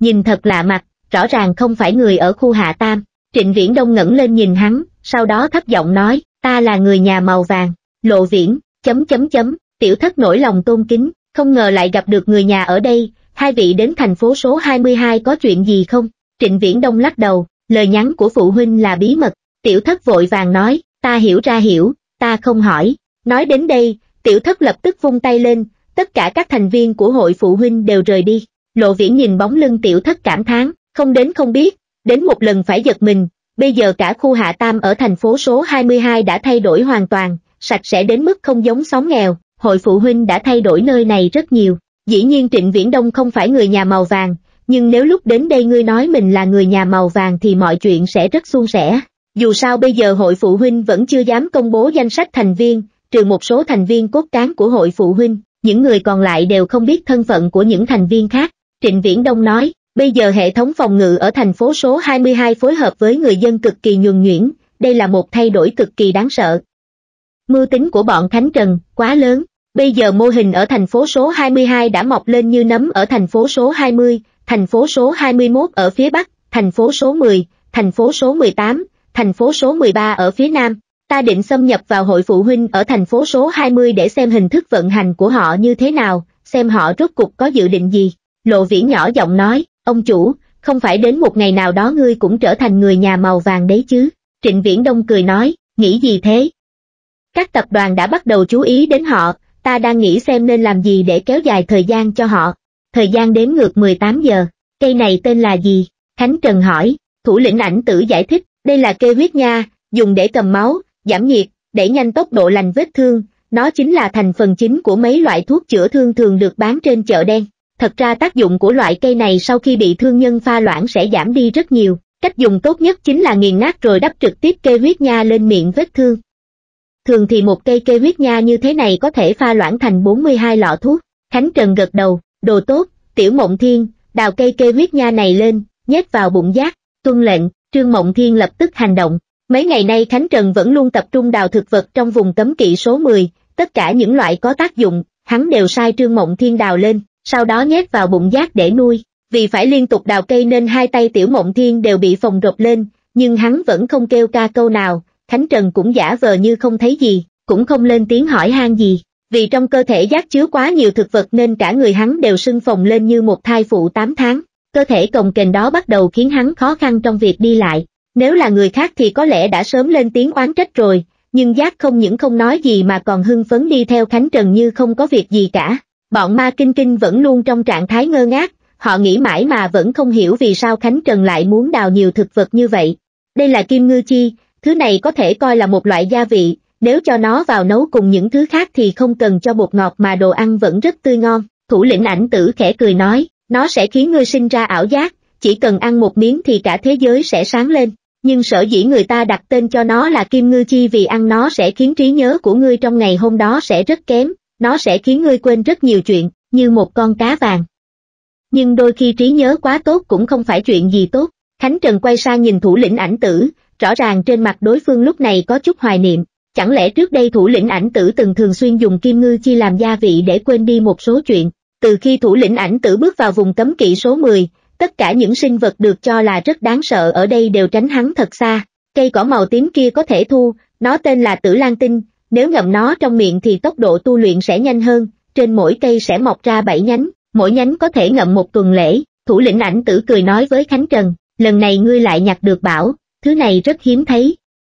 Cái này người ta gọi là cước chó vận, Khánh Trần lắc đầu, hắn biết tác dụng của tử lan tinh rất quan trọng, bởi vì trước khi vào vùng cấm kỵ số 10, hắn đã từng nghe nói đến loài cây này, mà thủ lĩnh ảnh tử đang giả vờ không biết ở đây có một cây tử lan tinh, nhưng vẫn câu nói kia, không phải vận may của hắn tốt, mà rõ ràng là thủ lĩnh ảnh tử vốn đã biết ở đây có một cây tử lan tinh, cho nên mới dẫn hắn đến hái. Vị ca ca này muốn đem tất cả những thứ tốt nhất trên thế giới này đến cho hắn, không được chạm vào thứ nhìn giống quả dưa kia. Thủ lĩnh ảnh tử chỉ vào một phương hướng rồi nói, thứ này tên là dưa giết người, nếu có sinh vật nào tác động lên nó một lực nhất định, nó sẽ lập tức nổ tung, sức sát thương mà nó tạo ra có thể lên đến 5-6 mét. Thủ lĩnh ảnh tử quay đầu nhìn đám người, cách đây mấy năm, người hoang dã đã dùng bao vải bọc thứ này lại làm vũ khí, sau khi ném ra, trong mỗi quả dưa giết người sẽ văng ra rất nhiều hạt giống, những hạt giống này sẽ găm vào da thịt động vật, sau đó nó sẽ hút chất dinh dưỡng từ da thịt động vật để nảy mầm. Phương thức tiến hóa của những loài thực vật trong vùng cấm kỵ chủ yếu là bảo vệ và phát tán hạt giống, ví dụ như cách tiến hóa của dưa giết người khá tân tiến, vì đa phần các loài cây sẽ khiến quả của mình trở nên đắng chát, từ đó khiến người khác muốn ăn cũng không ăn được. Đúng lúc này, Khánh Trần bỗng nói, coi chừng, thủ lĩnh ảnh tử vừa quay đầu lại đã thấy giác đang đứng ngay bên cạnh dưa giết người, sau đó dùng ngón tay chọc chọc nó, để ta biểu diễn cho mọi người một lần. Một tiếng ầm vang lên, cơ thể cồng kềnh của giác vị văng ra hơn 2 mét mới dừng lại, trên ngực hắn còn bị thủng một cái hố to, tất cả những gốc cây trong đó đều bị văng ra ngoài, như bị nổ trang bị vậy, thủ lĩnh ảnh tử, cũng may họ đứng đủ xa nên không bị lan đến. Dù là một người có kiến thức rộng rãi nhưng thủ lĩnh ảnh tử cũng không thể hiểu nổi suy nghĩ trong đầu giác là gì. Lúc này giác đã đứng dậy, sau đó hắn bắt đầu lôi hết đám hạt dưa găm trên mặt mặt hắn ra ngoài, cùng lúc đó, lỗ thủ trên ngực hắn bắt đầu khép lại nhanh đến mức dùng mắt thường cũng có thể thấy được, muốn có bao nhiêu quỷ liền có bấy nhiêu quỷ dị, giác vui vẻ cười nói, quy lực khá lớn. Yên tâm, tử lan tinh không sao, Khánh Trần đang thầm nghĩ, dị năng giả thổ hệ giác thật mạnh, sau khi cơ thể bị nguyên tố hóa, trừ việc nhiệt độ cao có thể khiến cơ thể men hóa, hình như hắn không cần sợ cái gì nữa. Thủ lĩnh ảnh tử nhìn giác, nhíu mày, nếu ngươi thích gây sự như vậy thì tiếp theo mỗi cái ngươi đều phải thử một lần. Giác lập tức hớn hở, được rồi. Khánh Trần đột nhiên hỏi, Giác, lúc chọn đồ vật đoán tương lai khi còn bé, thứ ngươi chọn là hồ sơ bệnh lý đúng không? Giác vui vẻ cười nói, a đúng đúng đúng, nhìn thái độ của hắn, ngay cả thủ lĩnh ảnh tử cũng không hiểu nổi, sao một kẻ trầm ổn tàn nhẫn như gia chủ Khánh Thị lại có thể chịu đựng được một tên sát thủ không bình thường như vậy, nhưng người khổ nhất lúc này lại là Trương Mộng Thiên. Vì giác phát nổ nên tất cả số thực vật mà tiểu mộng thiên giang khổ đào được trước đó đều bị hỏng, vậy nên hắn lại phải đào lại một lần nữa. Lúc này, lớp da trên tay hắn đã chi chít vết thương, không cần nhìn cũng biết rất đau. Nhưng nếu Khánh Trần không nói gì, hắn thậm chí còn không dám dùng kê huyết nha để trị liệu vết thương. Trương Mộng Thiên lặng lẽ ngồi trên mặt đất nhặt những thực vật còn dùng được đưa cho giác, sau đó hắn lại lặng lẽ quay về đường cũ đào những loại cây còn lại để bổ sung vào chỗ đã hỏng do vụ nổ. Mãi đến lúc này, giác mới cảm thấy ngượng ngùng, hắn gãi đầu mấy cái, sau đó nói với Trương Mộng Thiên, xin lỗi, đợi lát nữa ta đào giúp ngươi. Trương Mộng Thiên cười nói, không cần, ông chủ bảo ta tự đào, a cái này, giác nghĩ nửa ngày, vậy lần sau xuyên qua ta sẽ mang kẹo cho ngươi. Đến tận lúc này giác mới có vẻ giống người bình thường, có đôi khi Khánh Trần sẽ cảm thấy tên này và huyễn vũ đúng là tuyệt phối, vì cả hai cùng bị bệnh thần kinh. Đại lão, các ngươi đào những mầm cây này làm gì, ngươi yên tâm, chúng ta rất hiểu chuyện, cái gì có thể nói, cái gì không thể nói tuyệt đối không nói, ma kinh kinh cẩn thận nói, chúng ta đến đây thám hiểm nên tò mò một chút về vấn đề này thôi. Khánh Trần nhìn hắn một cái, sau đó thản nhiên nói, các ngươi chẳng mấy chốc sẽ biết, dù sao sau này các vị cũng làm người trồng rau, không đúng, là sinh viên khoa nông vụ, trong khoảng thời gian này, bọn ma kinh kinh vẫn luôn nghiêm ngặt tuân thủ nguyên tắc, cái gì không nên hỏi thì tuyệt đối không hỏi, cái gì không được tiết lộ thì tuyệt đối không tiết lộ, tuy phần lớn người ở đây không bình thường lắm, nhưng ai cũng là cao thủ, dù sao thì họ cũng là những người thường xuyên đi giả ngoại, ai cũng biết ở bên ngoài nếu không tuân thủ quy tắc thì khó mà giữ được mạng sống, loại học sinh này rất thích hợp vào khoa nông vụ. Lúc này, Khánh Trần đã sưu tầm được mầm cây tử lan tinh, kê huyết nha, luyện du quả, chỉ còn thiếu mỗi cảnh sơn trà nữa mà thôi. Nhưng đúng lúc này, Khánh giả bỗng nhận được một cuộc điện thoại, vừa ngắt điện thoại, hắn lập tức nói với thủ lĩnh ảnh tử, ông chủ, Trần Thị đã điều động máy bay ném bom, xem ra họ dự định dùng máy rà quét sinh mệnh để tìm kiếm vị trí chính xác của chúng ta, sau đó tiến hành ném bom diện rộng. Lần này Trần Thị giữ bí mật rất tốt nên đến tận bây giờ chúng ta mới nhận được tin này, đây là tin tức do radar của quân đoàn ẩn náu ở vùng hoang dã vừa đưa đến, khoảng 2 phút nữa những kẻ đó sẽ đến. Khánh Trần sửng sốt, hỏng rồi, cảnh sơn trà của ta. Trung đội bay số hiệu T-101 sắp tiến vào khu vực chỉ định, cho phép tiến vào khu vực chỉ định, chuẩn bị chiến đấu. Bên trong máy bay chiến đấu, phi công đang bình tĩnh báo cáo vị trí của mình. Một giọng nói lạnh lùng vang lên bên kia bộ đàm, cho phép mở hệ thống hỏa lực, cho phép tấn công tất cả những sinh vật có đặc điểm phù hợp với mục tiêu. Một bầy máy bay thuộc quân đoàn 5 lưu tinh P-11 bay vụt qua bầu trời. Thật ra trước đây liên bang đã từng thử cải tiến động cơ phản lực trên máy bay chiến đấu, sau khi cải tiến xong, mọi người lại phát hiện, muốn đẩy nhanh tốc độ của máy bay chiến đấu không phải việc gì quá khó, nhưng họ lại rất khó tìm được những phi công thích hợp để điều khiển những chiếc máy bay đó. Tố chất cơ thể của mỗi phi công đều phải thật tốt, bởi vì trong khi ngồi trên ghế lái, họ không những phải điều khiển máy bay, mà còn phải chịu rất nhiều ngoại lực khác, chẳng hạn như trong một chiếc máy bay chiến đấu bình thường, mỗi phi công đã phải chịu trung bình 6G ngoại lực, huống chi là máy bay chiến đấu đã nâng cấp. Nói đơn giản hơn thì 6G ngoại lực mà mỗi phi công phải chịu tương đương với 6 lần trọng lượng của người đó.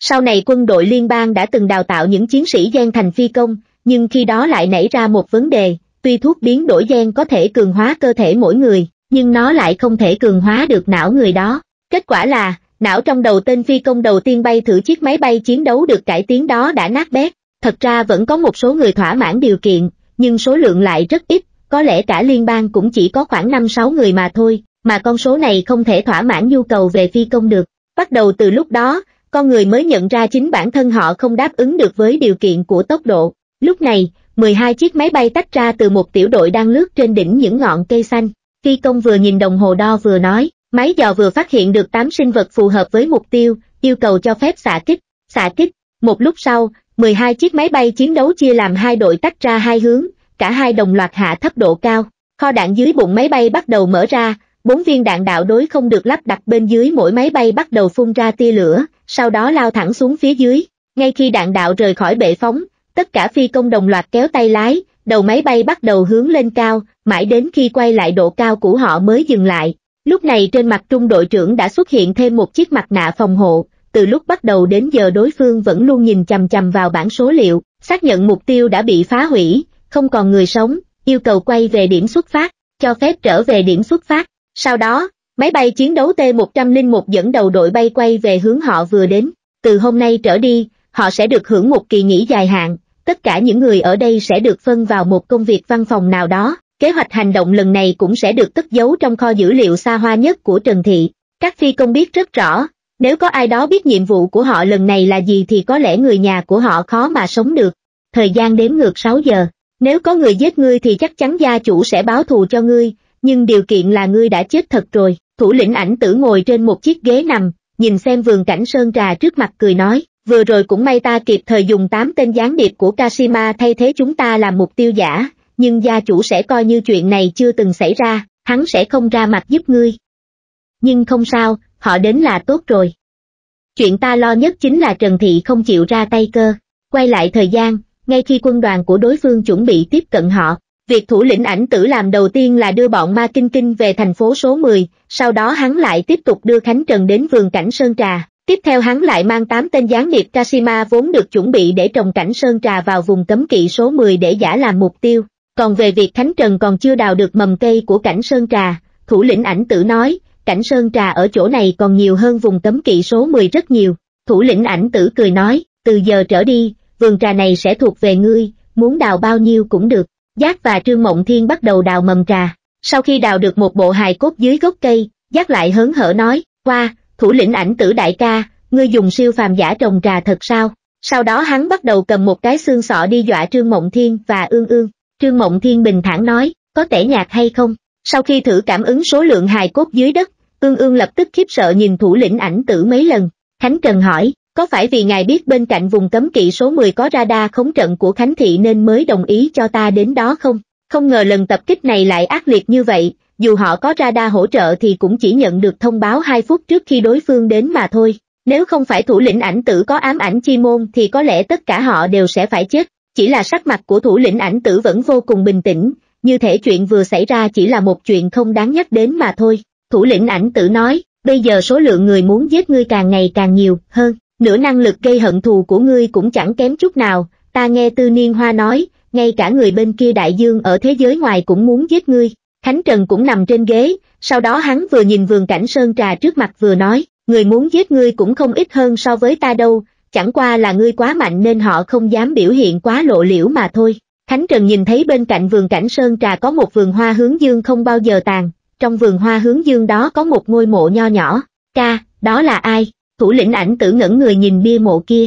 khi còn bé, lúc ở thành phố số 5 ta thường ra ngoài chơi, khi đó ta hay giả vờ làm một tên nhóc nghèo khổ để trải nghiệm xem nhân gian gian là thế nào. Việc làm thường xuyên của ta khi đó là đi đánh nhau với câu lạc bộ, có khi hết tiền ta còn phải sống nhờ tiền tiếp tế của vũ nữ. Cũng may cả ta và ngươi đều được di truyền khuôn mặt của lão tổ Khánh Chẩn nên ở đâu cũng không thiếu cơm ăn. Khánh Trần yên lặng lắng nghe, hóa ra trước đây thủ lĩnh ảnh tử còn có một thời gian hoang đường như vậy, thủ lĩnh ảnh tử nói tiếp, lúc đó nàng là vũ cơ đẹp nhất khu thứ bốn. Nàng không biết thân phận của ta, lớn hơn ta ba tuổi, lúc đó ta lẻn vào phòng thay đồ của nàng để ngủ, ngủ một giấc dậy mới phát hiện trên người mình có một chiếc áo khoác, ta đứng dậy đi tìm nàng, đúng lúc đó nàng đang ngồi trước gương trang điểm, khi đó ta còn nghĩ đây là lần đầu tiên ta nhìn thấy một người xinh đẹp như vậy, sau đó thì sao? Khánh Trần Hiếu Kỳ hỏi, thủ lĩnh ảnh tử như nhớ đến cái gì đó cười nói, nàng quay sang nhìn ta, ngồi giáo dục ta hơn hai tiếng đồng hồ, nàng nói ta còn trẻ mà không tìm việc đoàn hoàng mà làm, ngay cả người như nàng cũng phải cố gắng sống thật tốt, ta có tay có chân đầy đủ tại sao không biết đi tìm một công việc tử tế, thậm chí nàng còn tìm cho ta một công việc bốc vác, công việc này còn khiến ta mệt gần chết nửa năm trên công trường, ta không có chỗ ở nên mỗi ngày đều sẽ vụng trộn đến phòng thay đồ của nàng tắm rửa đi ngủ, dù ta có hôi hám bẩn thỉu như thế nào thì nàng cũng không ghét bỏ ta, thậm chí nàng còn vụng trộn giấu thức ăn thừa của khách hàng cho ta. Nàng nói, chỉ cần ta cố gắng làm việc nuôi sống chính mình thì có thể ở nhờ chỗ của nàng. Nếu thấy hay thì nhớ like và đăng ký kênh để ủng hộ mình nha. Có một lần ta bị bảo vệ của quán ăn đêm phát hiện, họ định đánh ta một trận rồi ném ra ngoài nhưng nàng lại đứng ta bảo vệ ta như một vị tỷ tỷ. Thủ lĩnh ảnh tự nhớ lại khoảng thời gian đó, một người phụ nữ yếu ớt dám đứng ra làm một việc mà cả gia tộc này chưa bao giờ làm cho ta, đó là bảo vệ ta. Nàng không biết người mình đang cứu là ai, từ trước đến giờ nàng cũng không hỏi ta là ai, không hỏi ta đến từ đâu, như thể chỉ cần ta dám đối mặt với thế giới này là nàng thỏa mãn rồi. Khánh Trần hỏi, có phải vì nàng nên ngươi mới không muốn làm người chơi ở thế giới ngoài không? từ thủ lĩnh ảnh tử gật đầu, cứ chiều nào được nghĩ là ta lại trèo lên giá sắt phía sau quán ăn đêm để ngắm nàng khiêu vũ. Váy áo sặc sỡ cộng với ánh đèn huyền ảo, nàng vừa kiêu ngạo lại vừa mỹ lệ, tự tin lại tự ái, ta trốn trong bóng tối tự ti mặc cảm, ngay cả thân phận của ta trong thánh thị cũng không thể khiến ta đủ lòng tin sánh vai với nàng, ương ương chống cầm ngồi một bên ngơ ngác, nàng tên là Ninh Tú, một cái tên rất êm tai. Sau đó ta bắt đầu viết những bức thư tình sến súa cho nàng, lấy ở đây một đoạn, lấy ở kia một đoạn, đều chép từ trên mạng hết, ảnh tử miễn cười, khoảng thời gian ấy ta bận đầu tắt mặt tối, ba ngày phải bốc phát ở công trường, buổi tối lén chui vào phòng thay đồ của nàng, nằm ngoài trên bàn viết thư tình, rồi đặt trên bàn của nàng trước khi trời sáng, khi ấy, thậm chí ta còn dám gặp nàng, toàn chờ nàng tan tầm về nhà mới lén lút chạy vào phòng thay đồ, vì ta sợ nàng từ chối ta, khi còn bé ta không hiểu, sau đó mới ngộ ra, phẩm cách và địa vị không ngang hàng, tuy địa vị của ta cao hơn nàng nhưng nhân cách nàng cao thượng hơn ta, cũng vì điểm này khiến ta không dám nhìn thẳng. Ta sợ, nàng nhìn thấy thư tình thì sẽ thất vọng về ta, về sau chúng ta chẳng thể làm bạn được, cứ viết thư tình suốt ba tháng như thế, trong ba tháng đó hai người chúng ta không còn gặp nhau lần nào nữa. Cuối cùng có một ngày ta chui vào phòng thay đồ giữa đêm hôm khuya khoắt, lại phát hiện nàng ở trong bóng tối chờ ta, khi ta bật đèn lên, lúc đó ta rất sợ, lỡ như nàng không chịu được nữa muốn từ chối thì ta phải làm sao đây? Ta giống như một đứa trẻ phạm sai lầm, nàng sụ mặt hỏi ta tại sao lại trốn nàng, thì ra khi nàng giận trông cũng rất đẹp, ảnh tử nở nụ cười, lúc đó nàng hỏi ta tiết kiệm được bao nhiêu tiền, bấy giờ ta hoảng lắm, vì ta chỉ có 800 tệ, các ngươi không biết thế giới này khốn nạn đến mức nào đâu, kể từ khi các tập đoàn tài chính bóc lột từng chút từng chút một, ta làm công nhân bốc vác một tháng cũng chỉ đủ tiền cơm, nếu không phải ở trong phòng thay đồ bớt được tiền thuê trọ, chưa biết chừng đến cả 800 tệ cũng không có nốt, ta cho rằng nàng sẽ chê ít, kết quả nàng nói trước kia ta là tay ăn chơi, có thể dành dụng được ít tiền chứng tỏ ta thay đổi rồi, sau đó thì sao, ương ương truy hỏi, ảnh tử nói, sau đó nàng lôi ta đi làm giấy chứng nhận kết luôn hôn, dùng 800 tệ của ta chụp một bức ảnh mặc áo cưới, rồi mời mấy công nhân của ta ăn một bữa cơm, thế là bọn ta xem như đã kết hôn rồi. Nàng từ chức, bán nhà của mình đổi sang một căn nhà nhỏ ở khu thứ năm, bắt đầu cuộc sống bình đạm với ta, rồi nàng tìm một công việc văn phòng với mức lương bèo bọt, nhịn ăn nhịn uống cùng ta. Nàng không giống như những người phụ nữ khác, người khác mua hoa sẽ mua đóa hoa xinh đẹp nhất, nhưng nàng luôn mua cả chậu hoa hướng dương, nàng nói hoa hướng dương cũng là hoa, khi nào nhàm chán còn có thể lấy hạt mà cắn. Ta nói ta đi mua hoa cho nàng thì nàng bảo đừng nên tiêu xài phung phí, sau này còn phải tiết kiệm tiền nuôi con, hoa hướng dương cũng rất đẹp, nàng thích hoa hướng dương nhất, bọn, ta sống bên nhau nửa năm, đó là khoảng thời gian tầm thường mà đẹp đẽ nhất trong đời ta, cho đến khi cuộc chiến giành vị trí ảnh tử bắt đầu, Khánh Trần rùng mình, hắn biết, đối với mỗi một người dự bị ảnh tử mà nói cuộc tranh giành này tàn khốc đến mức nào, mà Khánh chuẩn là con trai của gia chủ, hắn sẽ trở thành cái đích cho mọi người nhằm vào. Một khi vào cuộc, cuộc sống như thế không thể nào yên ổn được nữa. Cuộc đời của Khánh Chuẩn từ khoảnh khắc hắn ra đời đã được định trước sẽ không hề tầm thường, hắn là người lóa mắt nhất liên bang, bụi bặm trên công trường cũng không thể vùi lấp hào quang rực rỡ của hắn. Ảnh tử nói, ta là một trong những người được chọn, ngày thứ hai sau khi cuộc tranh giành vị trí ảnh tử bắt đầu, nàng bắt đầu nôn mửa, hôn mê, hành động chậm chạp, ta dẫn nàng đi bệnh viện kiểm tra, bác sĩ nói trong cơ thể nàng trộn lẫn hơn 100 chất độc thần kinh, không cứu chữa được nữa, đó là chất độc tàn nhẫn nhất dùng để ám sát, nếu ngươi không biết hơn trăm chất độc thần kinh ấy là gì, thiếu một loại cũng không cứu được nàng, nhưng không còn kịp rồi, nàng chỉ còn một tiếng cuối cùng, ảnh tử nói với giọng điệu hờ hững, ngày hôm đó ta thức tỉnh, vừa thức tỉnh đã là cấp S, giọng ảnh tử rất nhẹ nhàng, nhưng Khánh Trần có thể cảm giác được ẩn sâu dưới mặt biển phẳng lặng kia là sát ý mãnh liệt, khi hắn nói những lời này, giống như chỉ đang nói một chuyện cỏn con chẳng đáng nhắc tới, thánh Trần cũng biết, ảnh tử cần thời gian dừng lại vì người yêu của mình, cho nên mới thức tỉnh năng lực khống chế thời gian. Ảnh tử nói, ta nhìn thấy thời gian dừng lại ngay trước mắt ra, thế giới cũng bị ta chinh phục. Ta nhìn thấy biển cả không hóa thành nương dâu, thế sự chẳng còn đổi dời, khi thời gian dừng trôi, ta bắt đầu đầu tra toàn bộ chuyên gia dùng chất độc thần kinh trong toàn liên bang, tìm đến từng người từng người một. Ban đầu ta cho rằng những người này chuyên phục vụ công việc ám sát, xâm nhập tổ chức khác cho các tập đoàn, tất cả họ chết cũng không đáng tiếc, vì vậy trong năm tháng dài đằng đẵng ấy, ta bắt từng người đến một góc tối tăm, tra tìm tất cả dấu vết, nếu chứng minh được họ không tham dự sự kiện giết người bằng độc này nhưng lại nhúng tay vào án giết người bằng độc khác, ta cũng sẽ giết chết họ, chôn trong vườn trà này, nghe ngữ khí của ảnh tử, Khánh Trần biết khi đó ca ca của mình đã giết người đến độ mất lý trí rồi, chuyện sắp phải mất đi người mình yêu thương khiến cảm xúc của hắn gần như chạm đến ranh giới vỡ nát, ảnh tử nói tiếp, ta tốn 39 năm mới tìm ra 371 chuyên gia dùng chất độc thần kinh và người theo nghề này, sau đó ta phát hiện, có, một chuyên gia dùng chất độc thần kinh vô cùng nổi tiếng biến mất, khi ấy ta biết, chất độc thần kinh trên người nàng do người đó nghiên cứu, chế tạo, mà hắn rất có khả năng đã bị giết người diệt khẩu, ta lại tiêu phí 8 năm tìm tung tích của tên chuyên gia đó, nhưng không thu hoạch được gì. Dường như cả thế giới không một ai biết rốt cuộc hắn đi đâu, khoảnh khắc ấy ta vô cùng tuyệt vọng, nhưng ta nhớ nàng từng nói với ta, dù trên đời này không có ai chịu giúp ngươi, thì ngươi cũng phải dựa vào chính sức mình mà sống tiếp một cách sạch sẽ. Vì vậy, ta bắt đầu tự học ngành chất độc thần kinh, ảnh tử, ta lại dùng 40 năm bắt đầu học chất độc thần kinh từ đầu, vì chỉ có một mình ta có thể đi lại tự nhiên trong thời gian, cho nên ta chỉ có thể tự học, nhưng khi ta học đến phần cuối, bất chợt phát hiện ra một việc, cho dù ta trở thành chuyên gia dùng chất độc thần kinh, cho dù ta trở thành nhân tài đứng đầu ngành này, nếu ta không biết hơn trăm chất độc thần kinh kia bao gồm những gì thì cũng chẳng có cách nào cứu nàng. Những chất độc thần kinh ấy trộn lẫn với nhau trở thành chất độc cực mạnh khủng khiếp nhất trên đời, dù người trúng độc là ta thì chắc chắn ta cũng sẽ chết, bởi vậy, 13 năm cuối cùng ta dùng để ở cạnh nàng. Ta ngồi bên giường của nàng, ngày ngày nhìn dung nhan nàng héo tàn từng giây từng phút, nhưng ta biết, thời khắc ly biệt chung quy sẽ tới. Dù ta làm thời gian trôi chậm đi đến mức nào, dù một năm của ta bằng một phút của nàng, thì cuối cùng nàng sẽ chết đi. Tính từ khi nàng trúng độc, ta dùng cả 100 năm, nhìn đại nạn được vận mệnh sắp đặt tàn nhẫn nghiền nát ta và nàng, nhưng ta lại chẳng thể làm được gì. Ảnh tử từng trải qua nỗi tuyệt vọng dài một thế kỷ, thậm chí những người khác chưa từng cảm nhận được thời gian bị dừng lại. Thời gian chỉ trôi qua một cách mãnh liệt với một mình hắn. Ảnh tử chìm nổi trong biển thời gian vô tận, nhưng thân là bán thần nắm giữ thời gian, hắn lại không có cách cứu người mình yêu. Cuối cùng hắn tận mắt nhìn người yêu của mình chết đi, Ương ương ngồi dưới đất khóc như mưa, tiểu mộng thiên đã hái trà cảnh sơn xong đang ở bên cạnh liên tục đưa khăn giấy cho nàng. Đúng lúc này, giác bưng một cây hoa hướng dương không biết vừa mới hái ở đâu về rồi lấy hạt hướng dương ra, vừa cắn hạt hướng dương vừa nghe kể chuyện. Thánh Trần định ngăn cản hắn, kết quả ảnh tử lại cười nói, không sao, nàng nói hoa hướng dương là dùng để lấy hạt ăn, mỗi lần thánh giả, thánh khu tới ta đều bảo họ hái một cây mang đi, ta cảm thấy đó chắc hẳn là tâm nguyện của nàng, nàng rất tốt bụng, sẽ không trách đám thần kinh đó, ảnh tử nhìn Thánh Trần, thật ra, nếu không phải vì chờ ngươi, có lẽ ta đã tàn sát tất cả họ rồi, Khánh Trần nói khẽ, tại sao lại tốt với ta như vậy?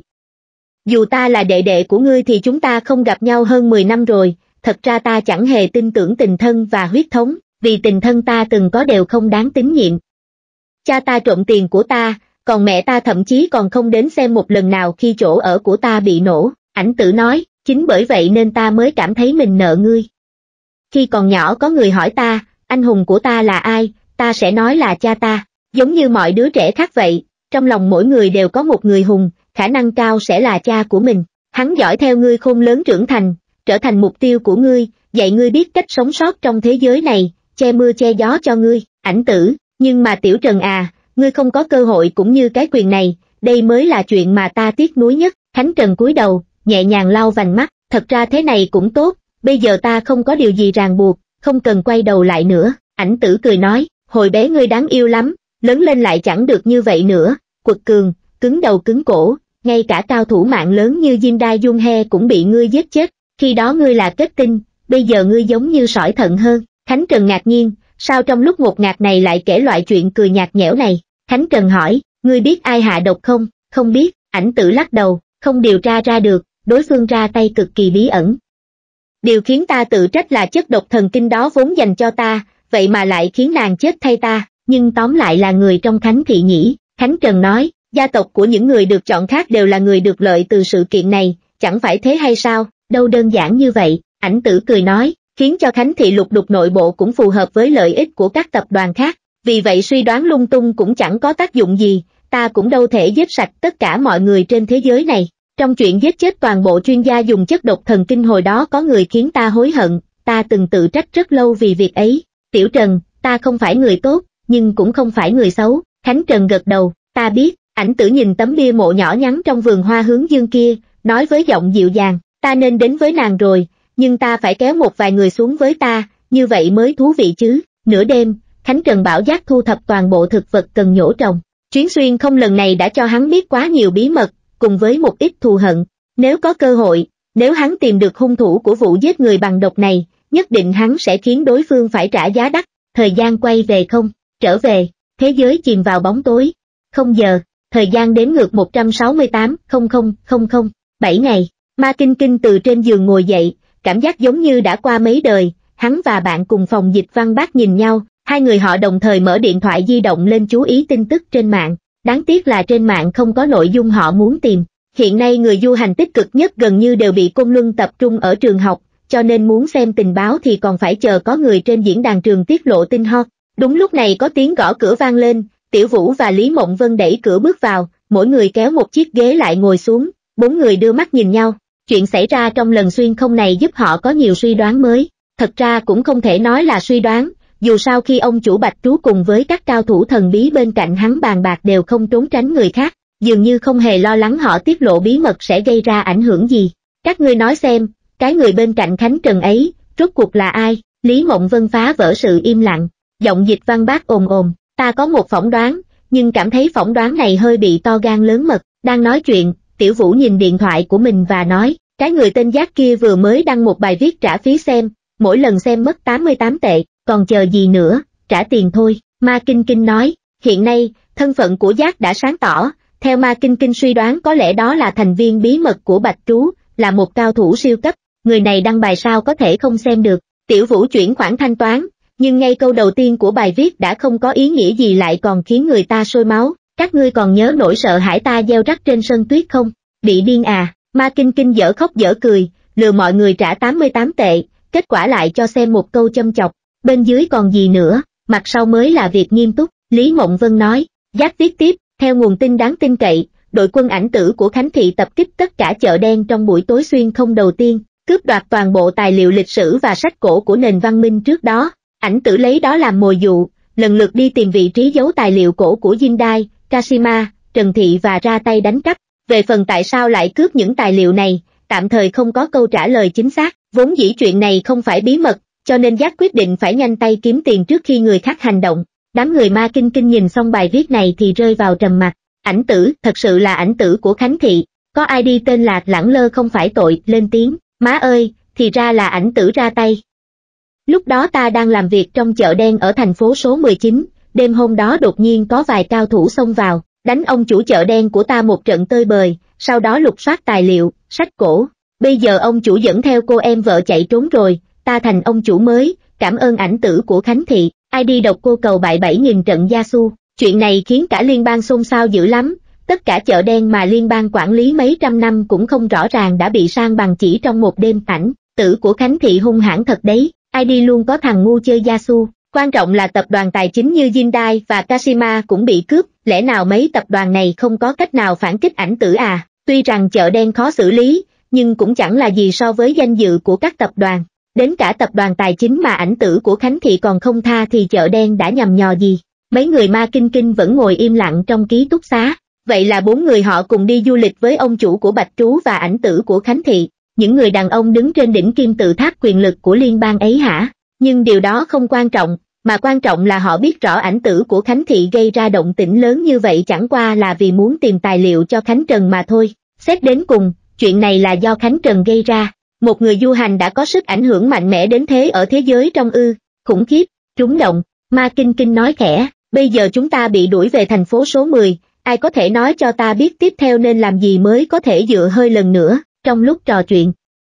Dịch văn bác nhìn điện thoại di động, bỗng nói, có vẻ như cơ hội dựa hơi tới rồi, tất cả mọi người nhìn vào điện thoại di động, trên diễn đàn đột ngột xuất hiện một bài viết mới, hơn nữa còn là bài viết chính thức có dấu đỏ, Học viện Nông nghiệp tuyển sinh công khai, toàn bộ học sinh lớp 11 trở lên đều có thể tự chủ báo danh, giới thiệu giảng lược về học viện, làm nông nghiệp, trồng trọt, cung cấp vật tư và phụ phẩm nông nghiệp cho học viện. Tất cả các học sinh yêu thích lao động đều có thể tự nguyện đăng ký gia nhập, tài liệu tuyển sinh cực kỳ đơn giản, không nói học viện nông nghiệp muốn trồng loại cây gì, thoạt nhìn giống như phải đi làm nông dân. Tiểu Vũ ngẩng đầu, hoàn toàn mờ mịt, văn bác, ngươi nói cơ hội dựa hơi là đây ư.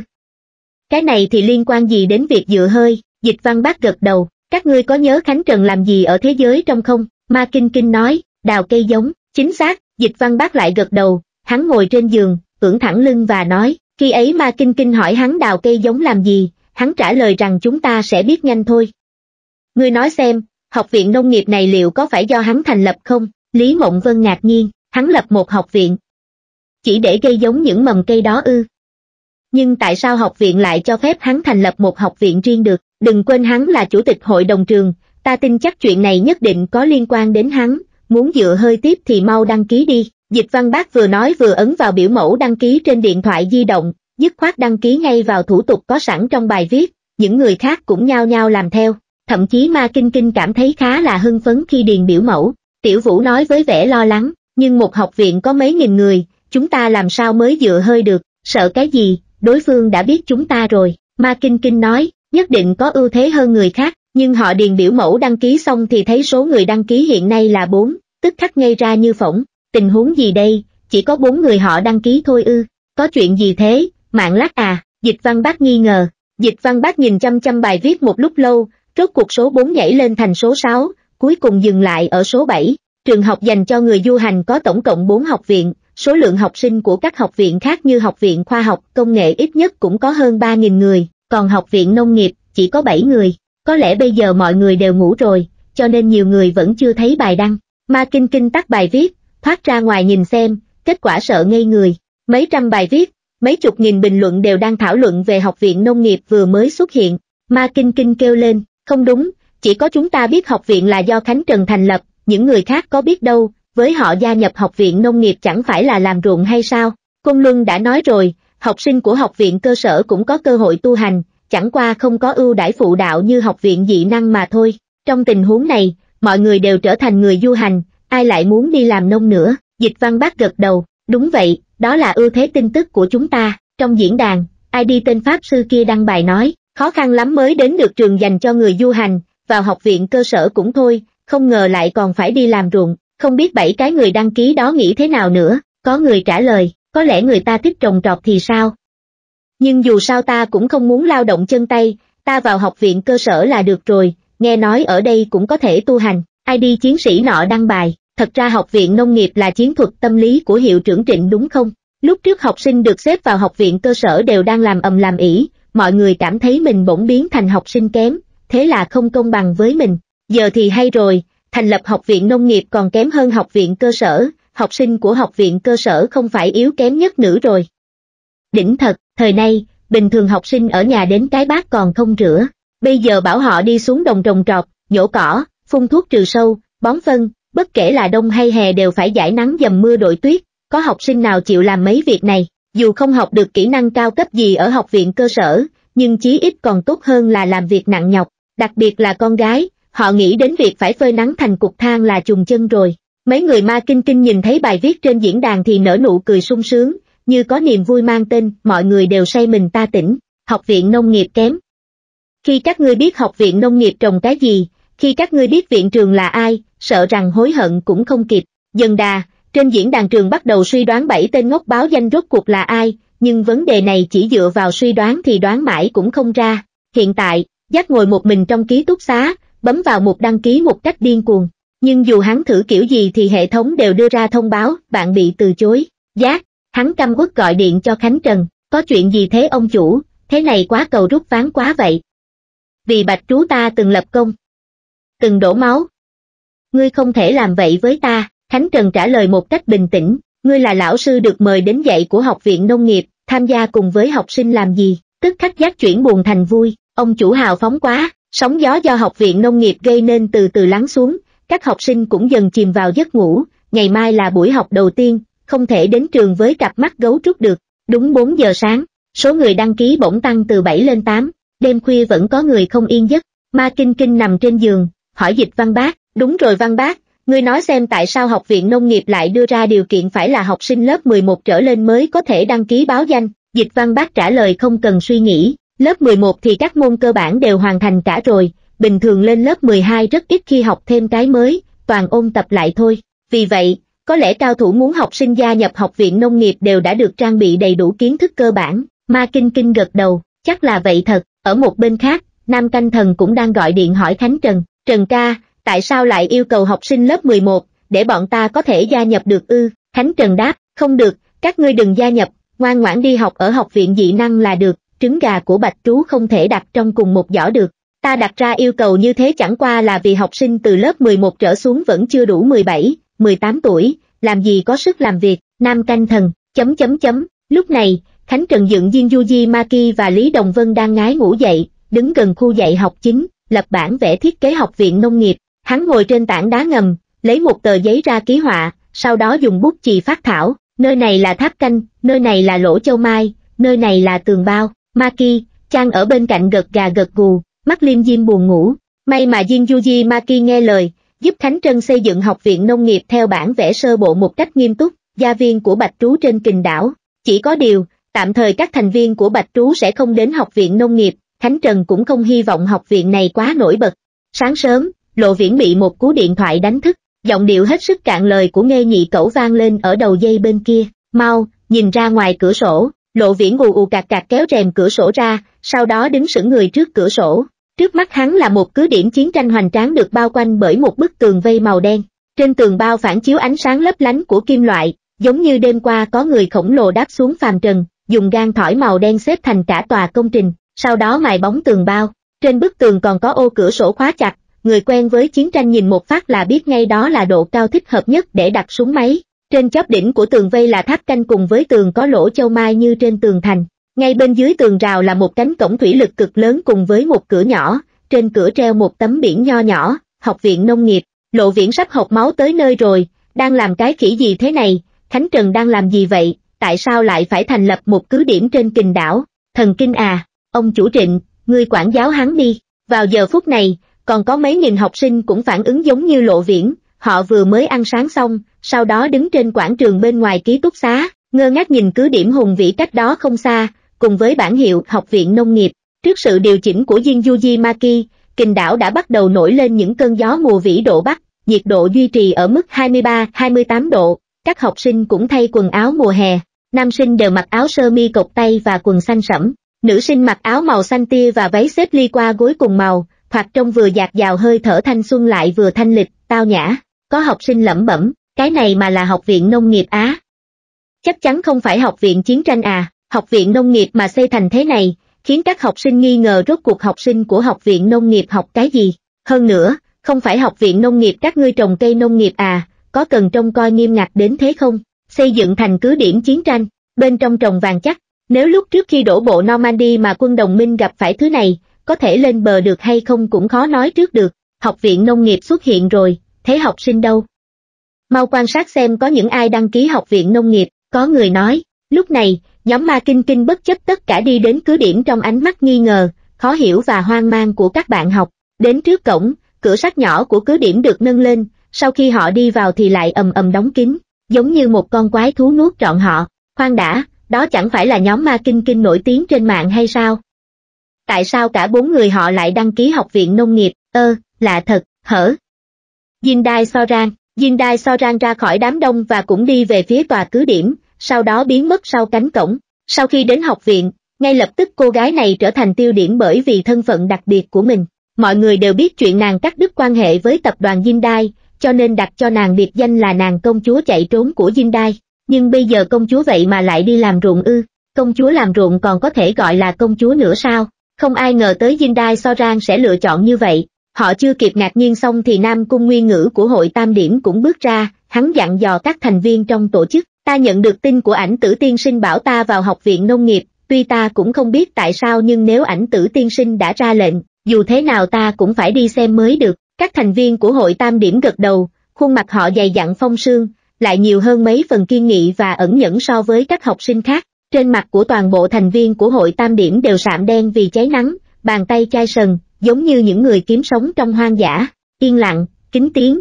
có tổ chức có kỷ luật, đó là ấn tượng của tất cả học sinh về hội tam điểm. Nếu ma trận giống như một nhóm hacker, Hồng Diệp như người tu hành, vậy thì hội tam điểm rèn luyện trong hoang dã suốt vài tháng giống như quân nhân. Đây là những người du hành mà ảnh tử đích thân đưa đến hoang dã tôi rèn, ngay cả Khánh Trần cũng không biết họ đã trải qua những gì trong hoang dã. Nam Cung Nguyên Ngữ đi về phía cứ điểm nông nghiệp, các học sinh đều nhìn về phía hắn, là người của hội tam điểm. Đối với các học sinh khác mà nói, hội tam điểm là tổ chức mới nổi lên gần đây, điều kỳ lạ là tổ chức của người du hành học cấp 3 ở Lạc Thành không giống những học sinh khác sống tạm bỡ trong thành phố. Nam Cung Nguyên Ngữ rất có quyết đoán mà mang tất cả mọi người xông ra ngoài, vượt qua khu cấm kỵ số 002, cắm rễ ở khu dân cư của người hoang dã. Các thành viên của hội tam điểm tu hành chuẩn đề Pháp, khi trở về thì tu hành ở sân sau biệt thự của La Vạn Nhai, thực lực bình quân mạnh mẽ, thậm chí trong số mấy chục người này còn có hai cao thủ cấp C. Tổ chức như thế đã có thể nổi danh ngang với Hồng Diệp rồi, nhưng bởi vì họ đến vùng hoang dã,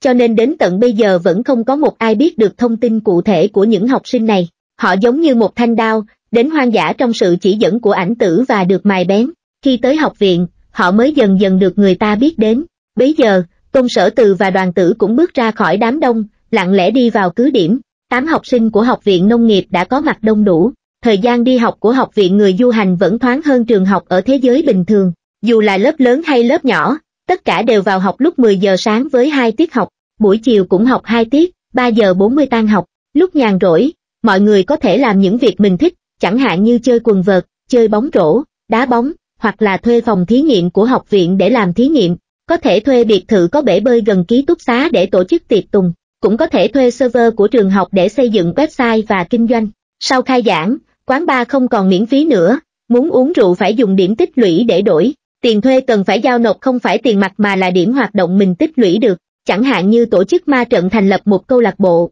có thành viên trong câu lạc bộ chơi quần vợt một tiếng sẽ được 5 điểm tích lũy, câu lạc bộ cũng được 5 điểm. Trong câu lạc bộ có người tham gia hoạt động ngoại khóa như sinh tồn giả ngoại, thành viên ấy và câu lạc bộ sẽ được 15 điểm. Có người cung cấp cho Côn Luân tin tức quan trọng về thế giới trong thì người đó và câu lạc bộ được thêm 15 điểm. Ngoài ra còn có sân trọng lực để tu hành, buổi chỉ đạo riêng với lão sư dạy kỹ xảo chiến đấu của học viện, hướng dẫn du lịch khi muốn đến vùng hoang dã du lịch khu cấm kỵ, đều có thể dùng điểm tích lũy trong trường để đổi. Vì vậy, mỗi buổi chiều sau giờ học, các thành viên của mọi câu lạc bộ bắt đầu tích lũy điểm cho tổ chức của mình giống như thành viên của ban hội chơi game làm nhiệm vụ, bận rộn như kiến thợ. Đây là điều mà Côn Luân muốn nhìn thấy, họ hy vọng dùng phương thức giải trí này để cho học sinh tự phát mau chóng đoàn kết lại. Nói cho cùng, ở thế giới trong người du hành là những kẻ ngoại lai, chỉ có đoàn kết mới có thể giúp đỡ lẫn nhau. Hơn nữa, Họ cũng mong thông qua những việc này có thể khiến các học sinh sớm học được cách dùng nỗ lực để đổi lấy sự hưởng thụ,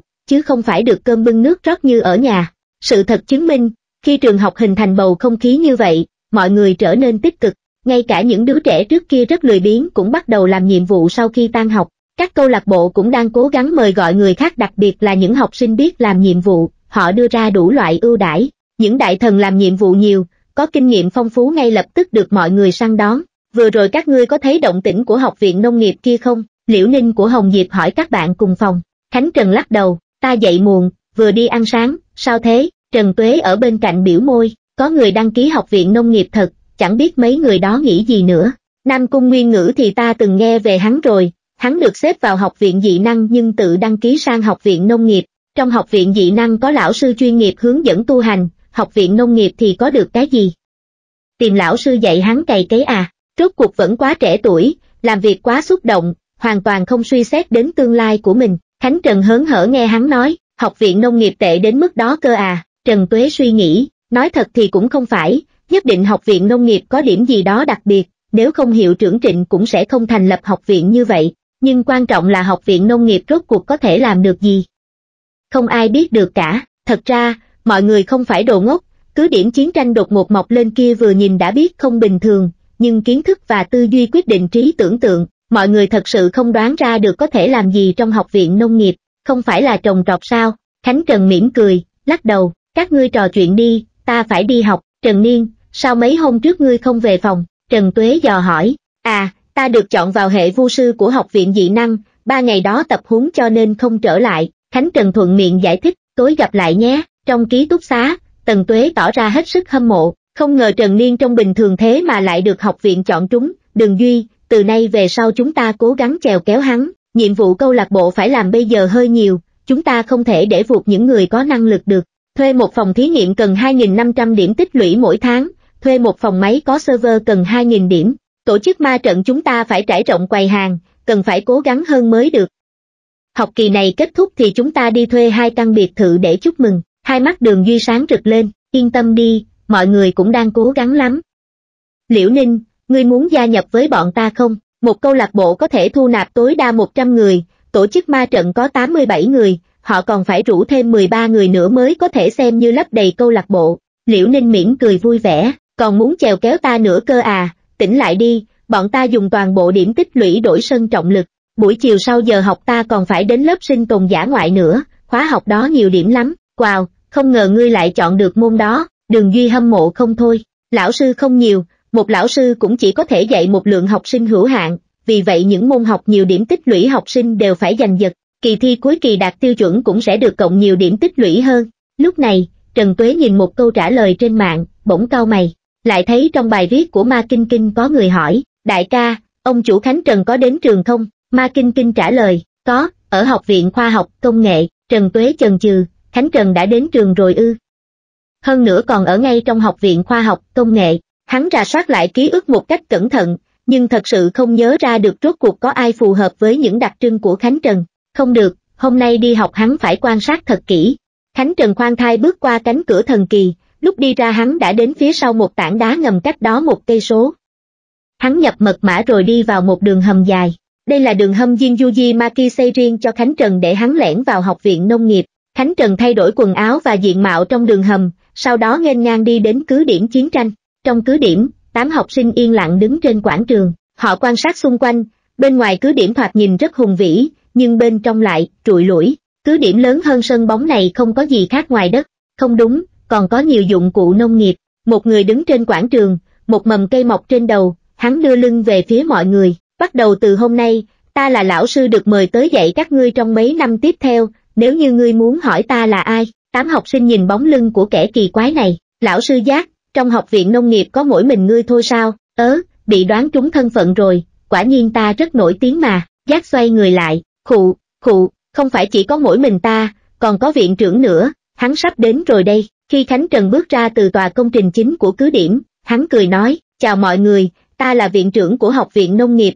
bình thường mọi người cứ gọi ta viện trưởng là được, lần này, Khánh Trần thay đổi vẻ về ngoài để tránh phiền toái, thậm chí còn lượt qua cả tên, dùng chức vụ thay thế luôn. Công sở từ, đoàn tử, Dinh Đai So Rang, Nam Cung Nguyên Ngữ và nhóm ma kinh kinh ngơ ngác nhìn nhau, viện trưởng này là ai, họ chưa thấy bao giờ, nhưng mọi người nghĩ đến truyền thuyết về Khánh Trần, họ đều có vài suy đoán trong đầu, chẳng qua không có cách nào chứng thực. Khánh Trần cười nói, học viện nông nghiệp khác với những học viện khác, chúng ta lấy động thủ làm chủ, có thể động thủ tuyệt đối không động khẩu. Ta nói động thủ ở đây không chỉ là nội dung dạy học mà cũng là thái độ của mọi người ở thế giới trong, hiểu không? Tám học sinh đưa mắt nhìn nhau, hiểu rồi, trong thoáng chốc, họ nhìn cứ điểm chiến tranh sừng sững xung quanh, nhớ đến lời mà viện trưởng vừa nói, bỗng nhiên bắt đầu nghi ngờ rốt cuộc họ có phải học sinh của học viện nông nghiệp hay không. Khánh Trần dặn dò, được rồi, bắt đầu thôi, trước tiên đào hố cây ở nơi này, mỗi hố cách nhau 2,5 mét. Sẻn ở ngay bên cạnh, bắt đầu đi, hắn nói xong thì Nam Cung Nguyên Ngữ xoay người đi lấy sẻn đầu tiên, những người khác hãy còn chần chừ, không phải là đi học à, lẽ nào không dạy cách gây trồng thực vật, sao vừa bắt đầu đã đào hố luôn thế, nhưng cuối cùng, tất cả mọi người gồm cả Jindai Soran đều bắt tay vào làm việc, giác ngoan ngoãn dọn ghế dựa tới, Khánh Trần nằm trên ghế, còn hắn ở bên cạnh quạt mát, hai người họ giống hệt như địa chủ và tay sai của địa chủ, giác thì thầm, ông chủ, đào hố trồng cây ta dùng 3 giây là làm xong rồi, cần gì phải để họ lãng phí thời gian, không giống, Khánh Trần chỉ nói hai chữ ngắn ngủn, sau đó tiếp tục nhắm mắt dưỡng thần. Hắn nhớ lại những loài cây nổi danh và hữu dụng trong khu cấm kỵ của liên bang. Khánh Trần quyết định, hắn phải đi đến các khu cấm kỵ, chuyển toàn bộ các loài thực vật hữu dụng đến Học viện Nông nghiệp. Tối hôm qua, Jin Yuji Maki đã thí nghiệm, quả thật có thể thúc đẩy sự sinh trưởng của thực vật trong khu cấm kỵ như trà cảnh sơn trên kình đảo. Tuy chậm hơn các loài thực vật bình thường như ít nhất điều đó chứng minh được cố gắng của hắn không hề uổng phí. Trong tương lai không xa, Bạch Trú có thể có được nguồn lá trà và trái cây không giới hạn. Cả ngày hôm nay, trong 8 học sinh, ngoại trừ Tiểu Vũ và Lý Mộng Vân, sâu học sinh còn lại chưa từng lười biếng, cho dù là Diên Đai So Rang cũng không hề, mà Tiểu Vũ và Lý Mộng Vân, chỉ cần hơi thả lỏng một tí là sẽ bị dắt đuổi theo chạy khắp cứ điểm, nếu bắt được thì phải bị trồng trong đất. Hai cô gái khóc xong thì làm tiếp, làm xong thì lại khóc, giác tồn tại chính là để phân phối nhiệm vụ cho mỗi người, bảo đảm ai nấy đều sử dụng thể lực đến mức cực hạn, cho đến khi cảm xúc của mọi người chạm đến ranh giới sụp đổ. Trời sẩm tối, Khánh Trần cười hiếp mắt, buổi học hôm nay đến đây là kết thúc, mọi người có thể trở về nghỉ ngơi. Đúng rồi, xét thấy mọi người khá bận rộn với việc học ở Học viện Nông nghiệp, không có thời gian tham gia nhiệm vụ ngoại khóa, cho nên trong thời gian học tập ở Học viện Nông nghiệp, hàng ngày mỗi người sẽ nhận được 30 điểm tích lũy, đây là cho điểm cố định. Mọi người về nghỉ đi, mai gặp lại, Khánh Trần bổ sung thêm, đương nhiên, nếu các ngươi cảm thấy quá vất vả thì có thể tìm lộ viễn xin chuyển học viện, mỗi một người có một cơ hội, nói xong, hắn đưa tất cả mọi người ra khỏi cứ điểm chiến tranh. Lúc này, vô số học sinh tập trung ngoài cứ điểm, họ yên lặng nhìn tám học sinh, người nào trông cũng lấm lem bùn đất, trên tóc còn vương cỏ dại, tất cả đều mệt đến mức sắp không đi nổi. Mới đầu, các học sinh còn tưởng trong học viện nông nghiệp có gì đó mờ ám, có lẽ là có chương trình học bí ẩn nào đấy, nhưng bây giờ, họ nhìn công chúa chạy trốn diên Đai so ra ngày thường ăn diện xinh đẹp trông giống như nghi phạm chạy trốn, tức khắc tin tưởng trong học viện nông nghiệp, quả, thật là trồng trọt, đặc biệt là Tiểu Vũ và Lý Mộng Vân, hai người họ vừa đi vừa khoát, quá tàn nhẫn, đi về ký túc xá, trong số 8 người, ngoại trừ ba người tôn sở từ, Nam Cung Nguyên Ngữ và diên Đai So Rang, những người còn lại không có cách nào giữ được bình tĩnh, tất cả đều gào khóc, từ ngoài cửa cũng có thể nghe tiếng tiếng khóc lóc thê thảm của họ,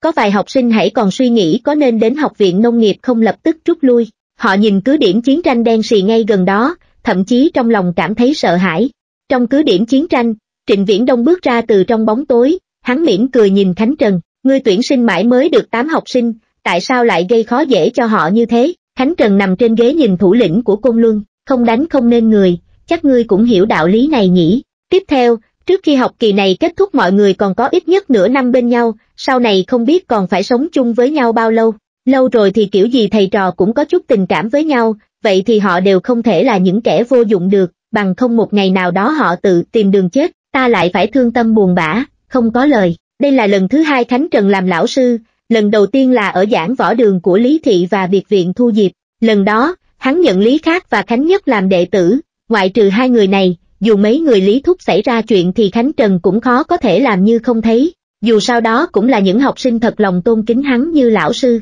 ràng buộc thầy trò ấy không giống như chuyện đi học ở thế giới ngoài, tình cảm đối bên đậm sâu hơn nhiều. Trịnh Viễn Đông nhìn về phía Khánh Trần, ngươi là viện trưởng, ta không quan tâm ngươi dạy học kiểu gì, sau này còn tuyển thêm học sinh được nữa không cũng mặc kệ, rốt cuộc ngươi muốn trống thứ gì ta cũng không để ý, chuyện lúc trước ngươi suy xét thế nào rồi, giao dịch không, có, Khánh Trần đứng dậy, nói một cách nghiêm túc, ta đã tìm được thứ ngươi muốn, ta biết, Trịnh Viễn Đông cười nói, dù sao cũng là ảnh tử của Khánh Thị đích thân ra tay, muốn tìm một thứ bị người khác xem nhẹ là một việc hết sức dễ dàng, Khánh Trần lắc đầu, không dễ, không dễ chút nào, ngoài người nhìn vào thì giống như ảnh tử ra tay là cướp được đồ về, nhưng Khánh Trần biết rõ, ca ca của hắn mỗi lần sử dụng năng lực đều là đang tự tay chấm dứt tính mạng của mình, người nắm giữ năng lực thời gian sẽ bị thời gian cắn trả, vì vậy, tất cả mọi người trên thế gian này đều có thể nói ảnh tử dễ dàng tìm được thứ này, nhưng hắn không thể nói vậy, vì đây là thứ mà ca ca của hắn dùng mạng đổi lấy cho hắn. Khánh Trần lấy một tờ giấy từ trong túi ra, ngươi tìm năm lão đạo sĩ hiểu tiên nhân triện đấy, miếu cổ trong núi sâu nhất định có người hiểu được nó, đến lúc đó ta sẽ bảo họ dịch thứ này ra, giao nguyên vẹn cho ngươi. Trịnh Viễn Đông đang nghe truyện trên TV audio CV khá bất ngờ, ồ, phương pháp tu hành chính thống toàn là thuật hô hấp, hơn nữa thuật hô hấp của mọi phương pháp tu hành đều phân chia giai đoạn, ta còn tưởng ngươi chỉ lấy thuật hô hấp ra trao đổi với ta thôi chứ, Khánh Trần lắc đầu, trước kia ta cũng nghĩ như vậy, nhưng bây giờ ta muốn giao bản hoàn chỉnh cho ngươi, nhưng có một điều kiện, điều kiện gì, ta muốn tổ chức người bàn quan giúp ta một việc, đó là tìm ra thủ phạm chân chính sau màn giết Ninh Tú năm xưa, Khánh Trần nói một cách bình tĩnh, tổ chức người bàn quan am hiểu điều tra tỉ mỉ, trong tay các ngươi cũng nắm giữ nhiều bí mật của liên bang, ta tin tưởng nhất định các ngươi có thể làm được, Khánh Trần muốn báo thù cho ảnh tử, không tiếc bất kỳ giá nào, đây là việc duy nhất hắn có thể làm cho ca ca của mình. Sau khi nghe điều kiện giao dịch của Khánh Trần, Trịnh Viễn Đông lại chần chờ, hắn biết rõ, dùng một viên vật cấm kỵ Acer, 004 chân thị chi nhãn màu đen và một chân tướng sự thật để đổi lấy một công pháp truyền thừa là một giao dịch có lời. Dù sao chỉ một phương pháp tu luyện chính thống thôi cũng đủ để gây dựng một tổ chức hoặc một gia tộc, sau khi có được công pháp, Công Luân hoàn toàn có thể dẫn tất cả học sinh đến định cư ở một nơi nào đó ngoài hoang dã. Chỉ là cuộc sống của mọi người sẽ khổ hơn một chút mà thôi, nhưng chắc chắn tính mạng sẽ được bảo toàn. Hòn đá màu đen tuy quan trọng, nhưng lại không thể sánh bằng một phương pháp tu luyện chính thống được. Nếu không phải Khánh Trần gấp gáp muốn báo thù thì có lẽ hắn sẽ không đưa ra cái giá này, nhưng Trịnh Viễn Đông lại không thể đồng ý. Chuyện này khiến Khánh Trần rất tò mò, thế nào, chẳng lẽ tổ chức bàn quan giả không thể tìm ra người đó sao?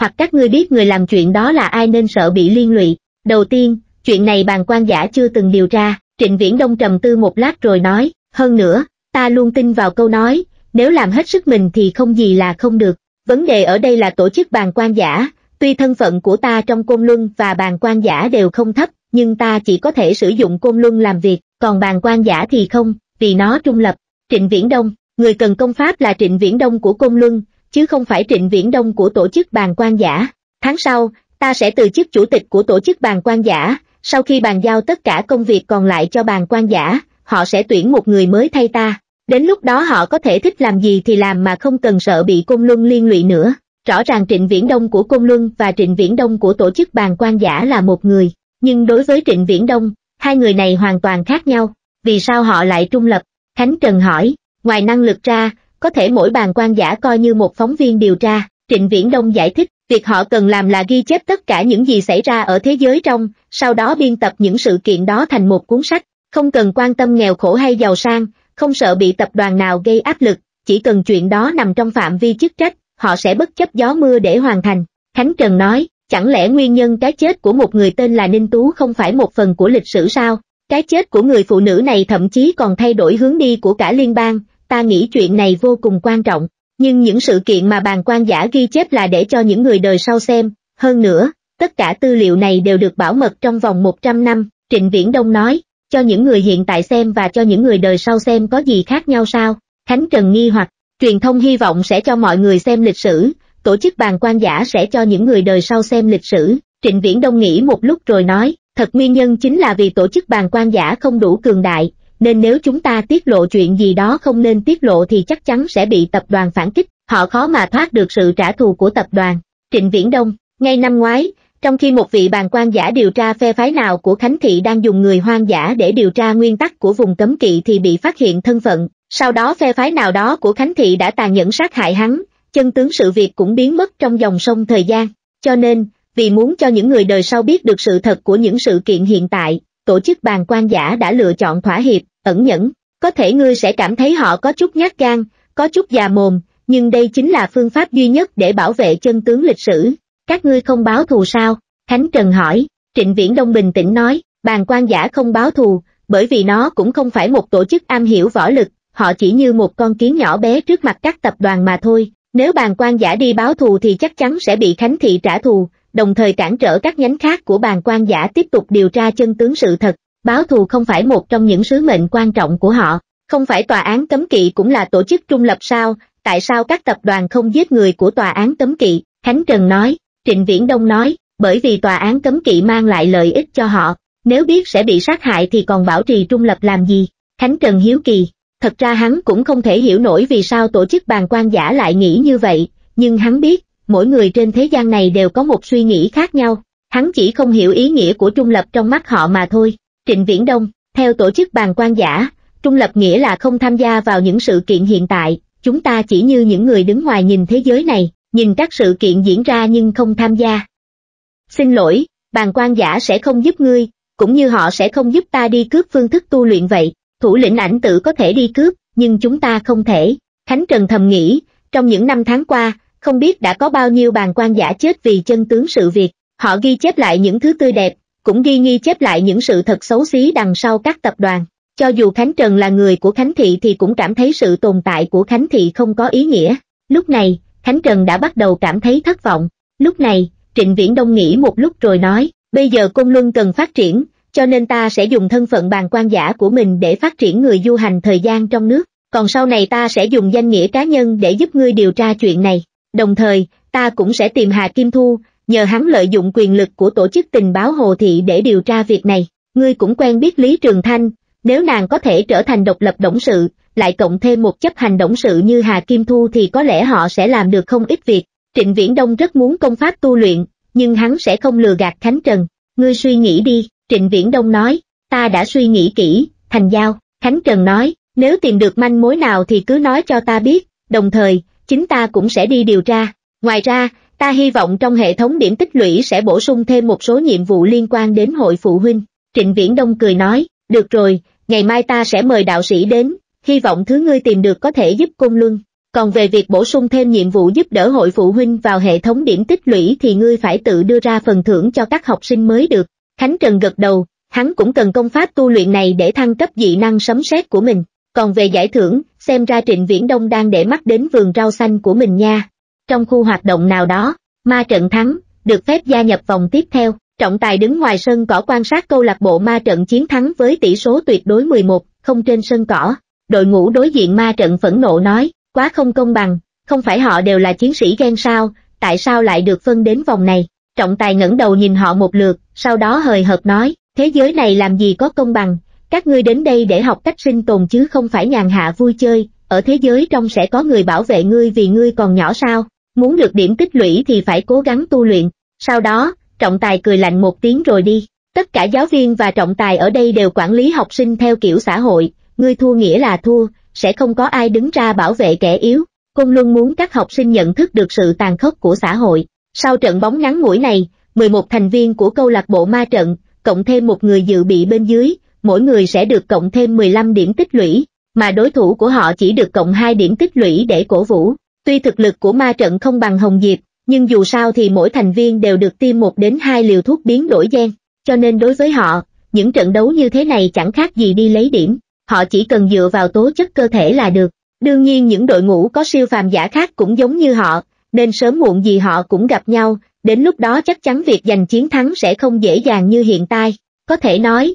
những công trình được xây dựng trên kình đảo vô cùng đầy đủ, thảm cỏ trên những sân bóng nổi tiếng thế giới ngoài kia cũng chưa chắc đẹp được như ở đây. Còn nhớ lúc trước, mỗi khi ghi được một bàn, Trần Tuế đều sẽ quỳ gối trượt trên sân bóng hơn 20 mét để ăn mừng. Bên trên khán đài, Đường Duy đang ôm một cái laptop phân tích, chỉ còn hai hạng mục có thể dễ dàng lấy được điểm tích lũy, đó là giải bóng rổ và lập trình. Sau khi làm xong hai hạng mục này, tất cả mọi người phải chăm chỉ lên lớp để lấy điểm, làm như vậy thì tháng này chúng ta mới có thể đạt được 7.220 điểm tích lũy, như vậy cũng đủ để thuê phòng thí nghiệm và phòng máy server rồi, chỗ còn lại sẽ dự trữ cho những chi tiêu của tháng sau. Bây giờ tất cả học viên trên kình đảo đều phải tính toán tỉ mỉ. Sau khi nhìn thấy một cốc bia bằng 5 điểm tích lũy, những học sinh từng thoải mái uống ở quầy ba trước kia đã dè dặt hơn rất nhiều. Dù sao mỗi ngày một người chỉ có thể kiếm được 10, 15 điểm tích lũy, ai may mắn thì có thể kiếm được 20, số điểm đó cũng chỉ bằng mấy cốc bia mà thôi. Ví dụ như một đĩa rau xào ở nhà ăn bây giờ cũng bằng hai điểm tích lũy,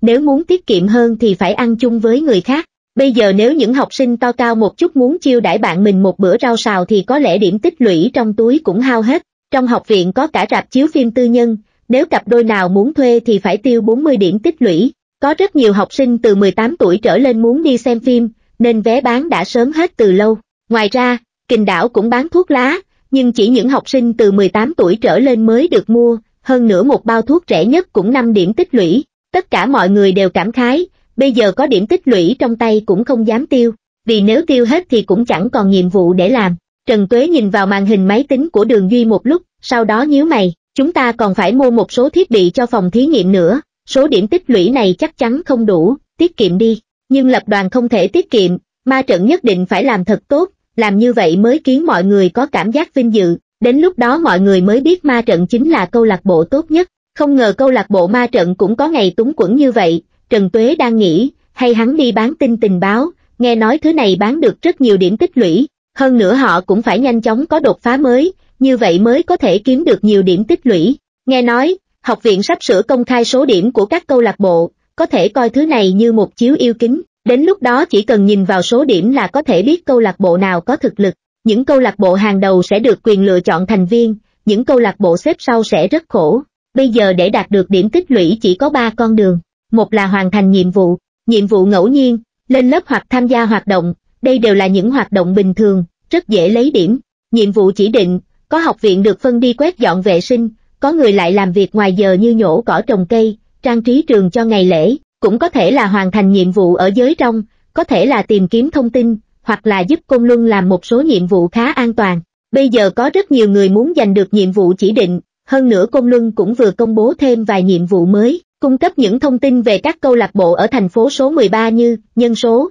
thực lực, có trang bị vũ khí hay không, cung cấp các thông tin về các câu lạc bộ ở thành phố số 19. Liên tiếp mười mấy nhiệm vụ trong hệ thống đều có liên quan đến các câu lạc bộ ở thế giới trong, mỗi tin tình báo về các câu lạc bộ sẽ được chia thành các cấp độ, giá cả từ cao xuống thấp là 30 điểm tích lũy, 20 điểm tích lũy, 10 điểm tích lũy. Các học sinh đều không hiểu, chẳng lẽ Côn Luân chuẩn bị tấn công các câu lạc bộ, chuyện quái gì vậy? Có học sinh bắt đầu bán tin tình báo của câu lạc bộ mình đang tham gia, hai là hiến vật phẩm. Hôm nay danh sách vật phẩm cũng vừa được đổi mới, lúc trước những vật phẩm có thể đổi thành điểm tích lũy chỉ có thuốc biến đổi gen và những tài liệu nghiên cứu khoa học kỹ, thuật của thế giới trong, nhưng hôm nay lại được bổ sung thâm một số loài thực vật nữa. Chỉ cần có thể mang được mầm của những thực vật đó về thế giới ngoài thì chắc chắn sẽ phất lên rất nhanh, bởi vì hầu như tất cả các mầm cây đều đáng giá 100-200 điểm tích lũy. Chuyện này khiến các học sinh rất nghi ngờ, chẳng lẽ học viện đang thu vật tư cho khoa nông nghiệp sao? Chỉ là, nếu muốn kiếm điểm tích lũy theo kiểu này khá khó,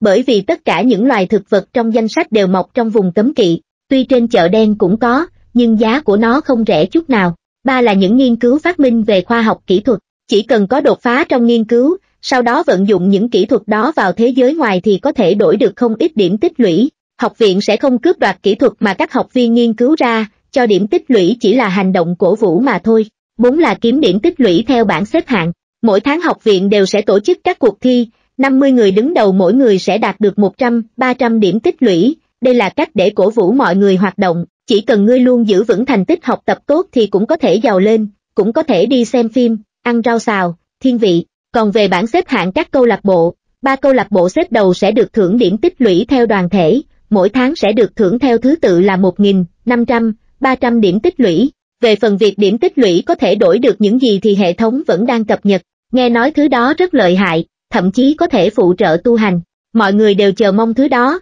cho nên bây giờ mọi người đều đang tích lũy điểm vì họ sợ sau khi công bố vật phẩm, số lượng hàng hóa sẽ không đủ để đổi. Lúc này, Trần Tuế và Đường Duy đang quay về ký túc xá tắm rửa. Vừa vào cửa, họ đã thấy Khánh Trần và Liễu Ninh ở trong phòng. Trần Tuế hỏi hai người, các ngươi không cần đi làm nhiệm vụ sao? Ta vẫn đang học lớp sinh tồn ngoài hoang dã, rất thú vị. Hôm nay huấn luyện viên dạy dạy chúng ta những thứ có thể ăn và không thể ăn. Ta cảm thấy nội dung bài học rất hữu dụng, điểm tích lũy cũng cao. Liễu Ninh nói, Đường Duy cảm thấy rất hâm mộ, thật ra hắn cũng rất muốn học khóa học này, chỉ là đáng tiếc hắn không đăng ký được. Chờ chút, không phải quá trình đăng ký học vẫn luôn diễn ra trên máy tính sao, câu lạc bộ ma trận làm gì, không phải chính là chơi máy tính sao, vậy sao họ không biết đi giành khóa học nhỉ, như vậy còn ai có thể giành được với ma trận, Trần Tuế nhìn đám người thở dài nói, lúc trước tất cả mọi thứ đều miễn phí, tại sao sau khi Khánh Trần trở thành chủ tịch trường, tất cả mọi thứ đều thu phí, có phải hắn đang dở trò hay không?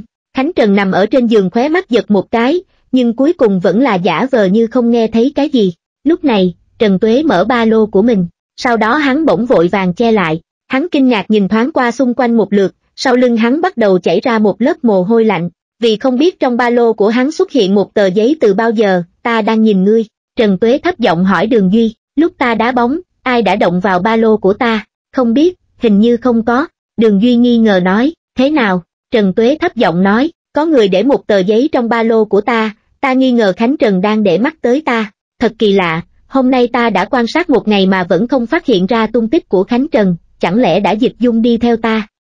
Hắn muốn chỉnh ta, không thể nào, đường Duy nói, sao lại không thể, Trần Tuế chắc chắn, việc ta đứng ra lôi kéo Hồ Tiểu Ngưu và Trương Thiên Chân lúc trước đúng là không chính đáng, chắc chắn hắn muốn trả thù ta. Nhất định hắn đang ẩn nấp bên cạnh ta, Khánh Trần đang nằm trên giường lặng lẽ tính toán con đường đi đào thực vật, hắn thầm tự nhủ, nếu bọn Trần Tuế và đối phương tự đối phó với nhau thì có lẽ hắn sẽ tiết kiệm được không ít công sức và thời gian. Rất tốt. Trong phòng ký túc xá của Nam Cung Nguyên Ngữ, hắn vừa mới tắm rửa xong, trên người chỉ mặc duy nhất một chiếc quần đi biển, trên cơ thể cuồn cuộn cơ bắp là những vết thương chi chít. Lúc mới ra ngoài hoang dã, họ đã bị người hoang dã bắt được, đây là những vết thương để lại do những người đó tra tấn, bây giờ tất cả những vết thương này đều đã khỏi hẳn. Mấy tháng trên hoang dã cũng là thời gian hắn trưởng thành nhanh nhất, trưởng thành kiến hắn trầm ổn hơn, lục đục với nhau, cướp đoạt tài nguyên, dù ngươi có ra tay giúp người hang giả thì cũng không thể hoàn toàn thả lỏng cảnh giác với họ, bởi vì rất có thể đến đêm, chính những người mà ngươi giúp sẽ đâm ngươi một đao, chỉ vì trên người ngươi có thuốc, có vật tư, nơi đó quá cằn cỗi nên tất cả mọi thứ đều không có. Hắn tập hợp tất cả các thành viên hạch tâm của hội tam điểm vào phòng ký túc xá, Nam Cung Nguyên Ngữ nói,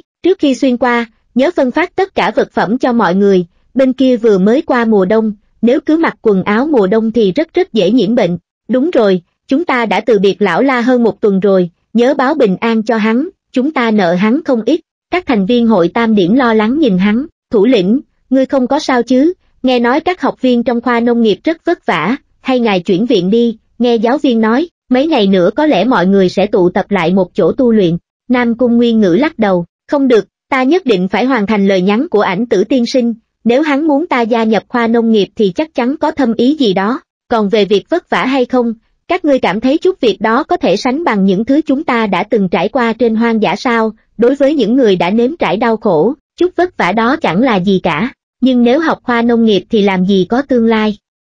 Lãng phí thời gian vào việc trồng trọt, còn không bằng chuyển chỗ thời gian đó sang lo cho khu quần cư, một thành viên hội tam điểm nói, không cần khuyên ta, Nam Cung Nguyên Ngữ nói, ta cảm thấy khoa nông nghiệp không đơn giản như vẻ bề ngoài, nhất là viện trưởng kia và giáo viên, đúng, rồi, sau khi học xong, các ngươi nhất định không được lười biếng, tất cả nhớ phải chăm chỉ tu luyện chuẩn đề pháp, mặt khác, mấy, cặp đôi song tu nhất định phải khiêm tốn, nhớ chưa? Tỷ lệ nam nữ trong hội tam điểm gần như là 50-50, lúc ra ngoài hoang dã, mọi người đều cùng chung hoạn nạn, sao có thể không nảy sinh tình cảm được. Trong ký túc xá, tuy nam nữ được phân vào hai khu riêng, nhưng hội tam điểm như một đại gia đình, cũng sớm đã đổi sang sống chung với nhau như những cặp vợ chồng, cho nên tốc độ tu luyện của hội tam điểm rất nhanh. Ta thấy Linh đăng ký tham gia của khoa nông nghiệp đã đóng, xem ra họ không định nhận thâm người, Nam Cung Nguyên Ngữ nói, nhưng ta đoán, trong số 8 người tham gia khoa nông nghiệp, nhất định không chịu được vất vả mà rời khỏi, đến lúc đó nếu họ muốn bổ sung thêm thì hai người nhất định phải xin vào cùng ta, còn nữa, nhất định phải giữ bí mật việc song tu, không được phép làm hỏng thanh danh của chuẩn đề pháp, lúc này, một thành viên hội tam điểm nói, chúng ta có tranh phần thưởng của bảng xếp hạng các câu lạc bộ không? Nam Cung Nguyên Ngữ bình tĩnh gật đầu, có, ngày mai ta sẽ đi hỏi viện trưởng xem khoa nông nghiệp có nhiệm vụ phát điểm tích lũy không? Chạng vạn tối, trong phòng ăn của học viện, công sở từ và đoàn tử không về ký túc xá ngay mà ngồi lại đây ăn cơm, canh cà chua trứng, gà nấu khoai tây, du mạch xào, giấm trượt đậu nha, đây chính là những món ăn miễn phí trong nhà ăn hôm nay, tất cả những món này đều không cần đổi bằng điểm, nếu nhìn từ góc độ dinh dưỡng thì đồ ăn miễn phí cũng không tệ lắm. Hai người cúi đầu ăn cơm, bàn bên cạnh có người đang bóc tôm, ăn càng cua, gặm thịt cừu, đây đều là những món ăn đổi bằng điểm tích lũy. Trong số các học sinh luôn có những người vung tay quá chán, cứ kiếm được điểm tích lũy nào là họ lại đổ vào nhà ăn và quầy ba. Khi mọi người đi qua chỗ tôn sở từ và đoàn tử, ai cũng phải ngoái đầu nhìn bộ dạng thê thảm của họ, vì bộ dạng của những học viên khoa nông nghiệp đều rất đặc trưng. Bên cạnh có người đang thì thầm, đây chính là học viên khoa nông nghiệp sao, quá thảm rồi đi, hắc hắc, tự tìm, đoàn tử nhướng mày, tôn sở từ nhìn nàng một cái, mặc kệ họ, đoàn tử giận dữ nói, ta vẫn không thể hiểu nổi, tại sao ngươi cứ nhất quyết phải đăng ký vào khoa nông nghiệp, những thành viên khác trong đội cũng không hiểu, tôn sở từ trầm tư rất lâu, nhưng cuối cùng cũng không nói gì, đội của họ vẫn luôn là bảy người từ lúc xuyên đến thế giới trong đến bây giờ, tất cả mọi người vẫn luôn nghe hắn, nhưng sau khi biết hắn đăng ký khoa nông nghiệp, Ý kiến của của mỗi người không giống nhau, tất cả mọi người đều cảm thấy đăng ký khoa nông nghiệp không có tác dụng gì. Dù sao thì đối với tất cả mọi người, học viện này không thiếu chỗ vui chơi, tươi mới, sinh hoạt cũng đủ kiểu màu sắc, dù phải khổ sở chạy việc thì cũng rất thú vị. Các giáo viên trong khoa khoa học kỹ thuật dạy ngươi cách để trở thành một nhà khoa học, hacker, khoa siêu phàm giả sẽ dạy ngươi cách tu hành, dù có khó đến đâu thì cũng tốt hơn khoa nông nghiệp rất nhiều. Nếu đã trở thành người du hành thời gian thì còn chạy đi trồng cây làm gì,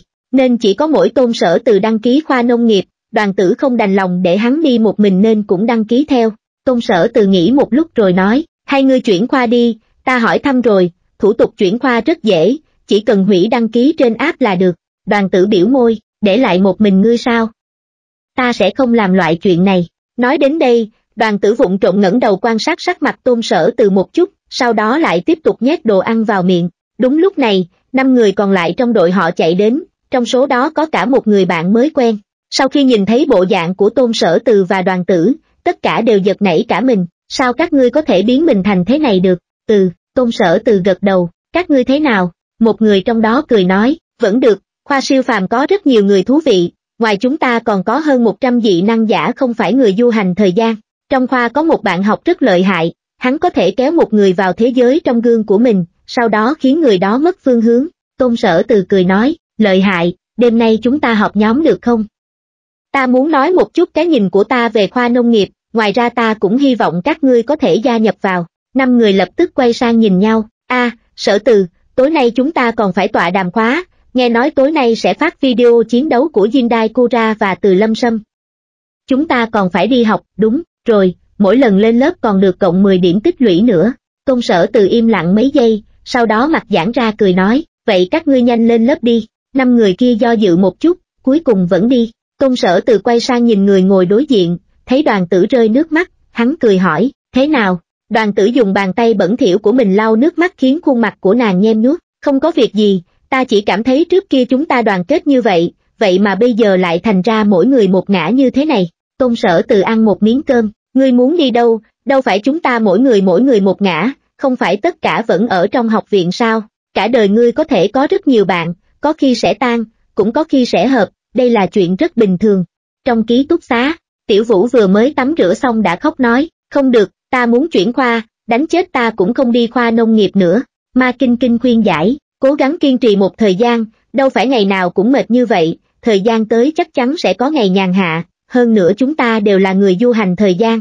ăn một chút khổ cũng không sao. Tiểu Vũ cùng loạn nói, đâu phải mỗi chịu khổ, rõ ràng khoa nông nghiệp không dạy chúng ta gì, cả ngày chỉ biết đào hố đào hố đào hố. Dịch văn bác phân tích, tất cả chúng ta đều đến vùng cấm kỵ số 10, vị viện trưởng đó là ai, không cần ta nhiều lời nữa.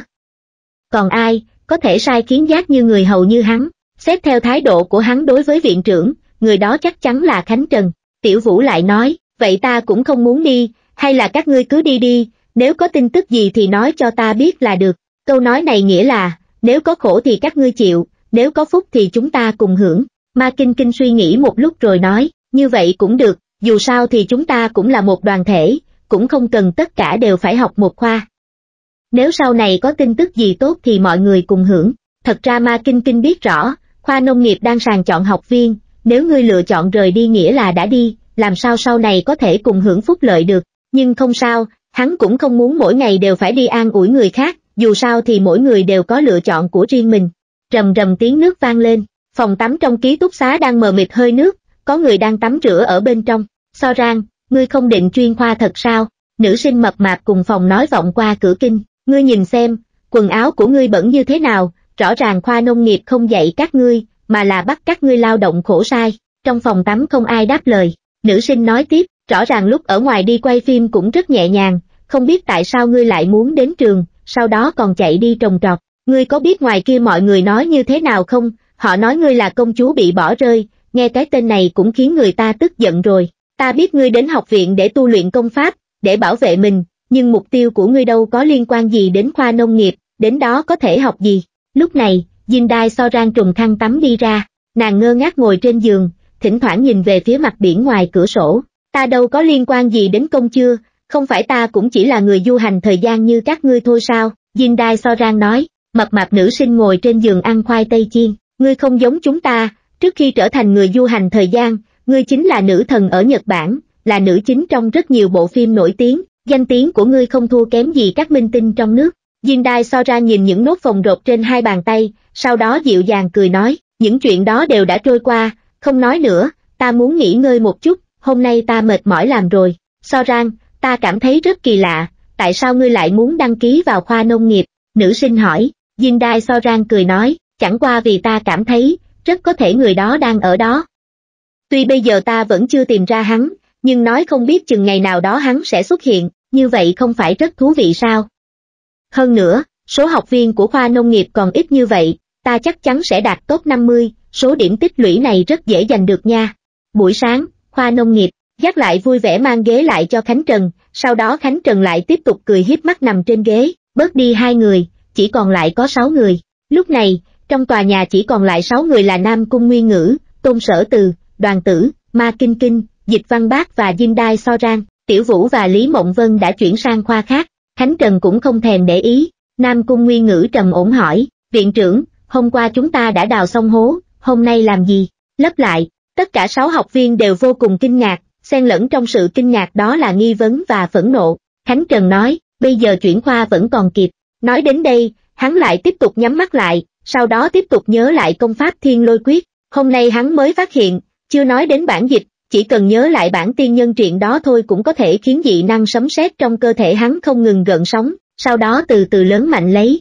không biết sau khi dịch đoạn văn đó ra sẽ xảy ra biến hóa gì. Nam Cung Nguyên Ngữ trầm mặt một lát, sau đó dẫn đầu xoay người đi cầm thủng sắt rồi lấp những cái hố mà hôm qua họ vừa mới đào. Những người khác cũng bắt đầu lặng lẽ hành động. Khánh Trần nằm từ sáng sớm đến tận chạng vạn tối như thể hắn đang thoải mái nằm trên bờ biển phơi nắng vậy. Đợi đến khi sáu người lấp hết đất vào những cái hố mới đào, hắn lại sai giác đưa cho mỗi người một mảnh lá kê huyết nha, vò nát rồi xa lá lên trên tay có thể khiến vết thương mau lành, bôi một cái đi, tránh việc ngày mai tay nát lại không làm được việc, sau đó hắn lại tiếp tục đi vào góc tối, trịnh viễn đông tựa trên tường, cười nói, tuổi ngươi không lớn mà đã độc ác như vậy, ta thấy đoàn tử và Dinh Đai So Rang đều vừa khóc vừa lấp hố, Khánh Trần không nói tiếp về vấn đề này mà hỏi, ngươi đã mời được các đạo sĩ đến chưa? Mời đến rồi, tất cả đều biết tiên nhân triện. Mười phút sau, Khánh Trần ngồi trong bộ chỉ huy của Côn Luân nhìn năm đạo sĩ tóc hoa râm trước mặt, khách khí nói, ta mời các vị đến đây để nhờ mọi người dịch một văn bản. Lão đạo sĩ, có nuôi cơm không?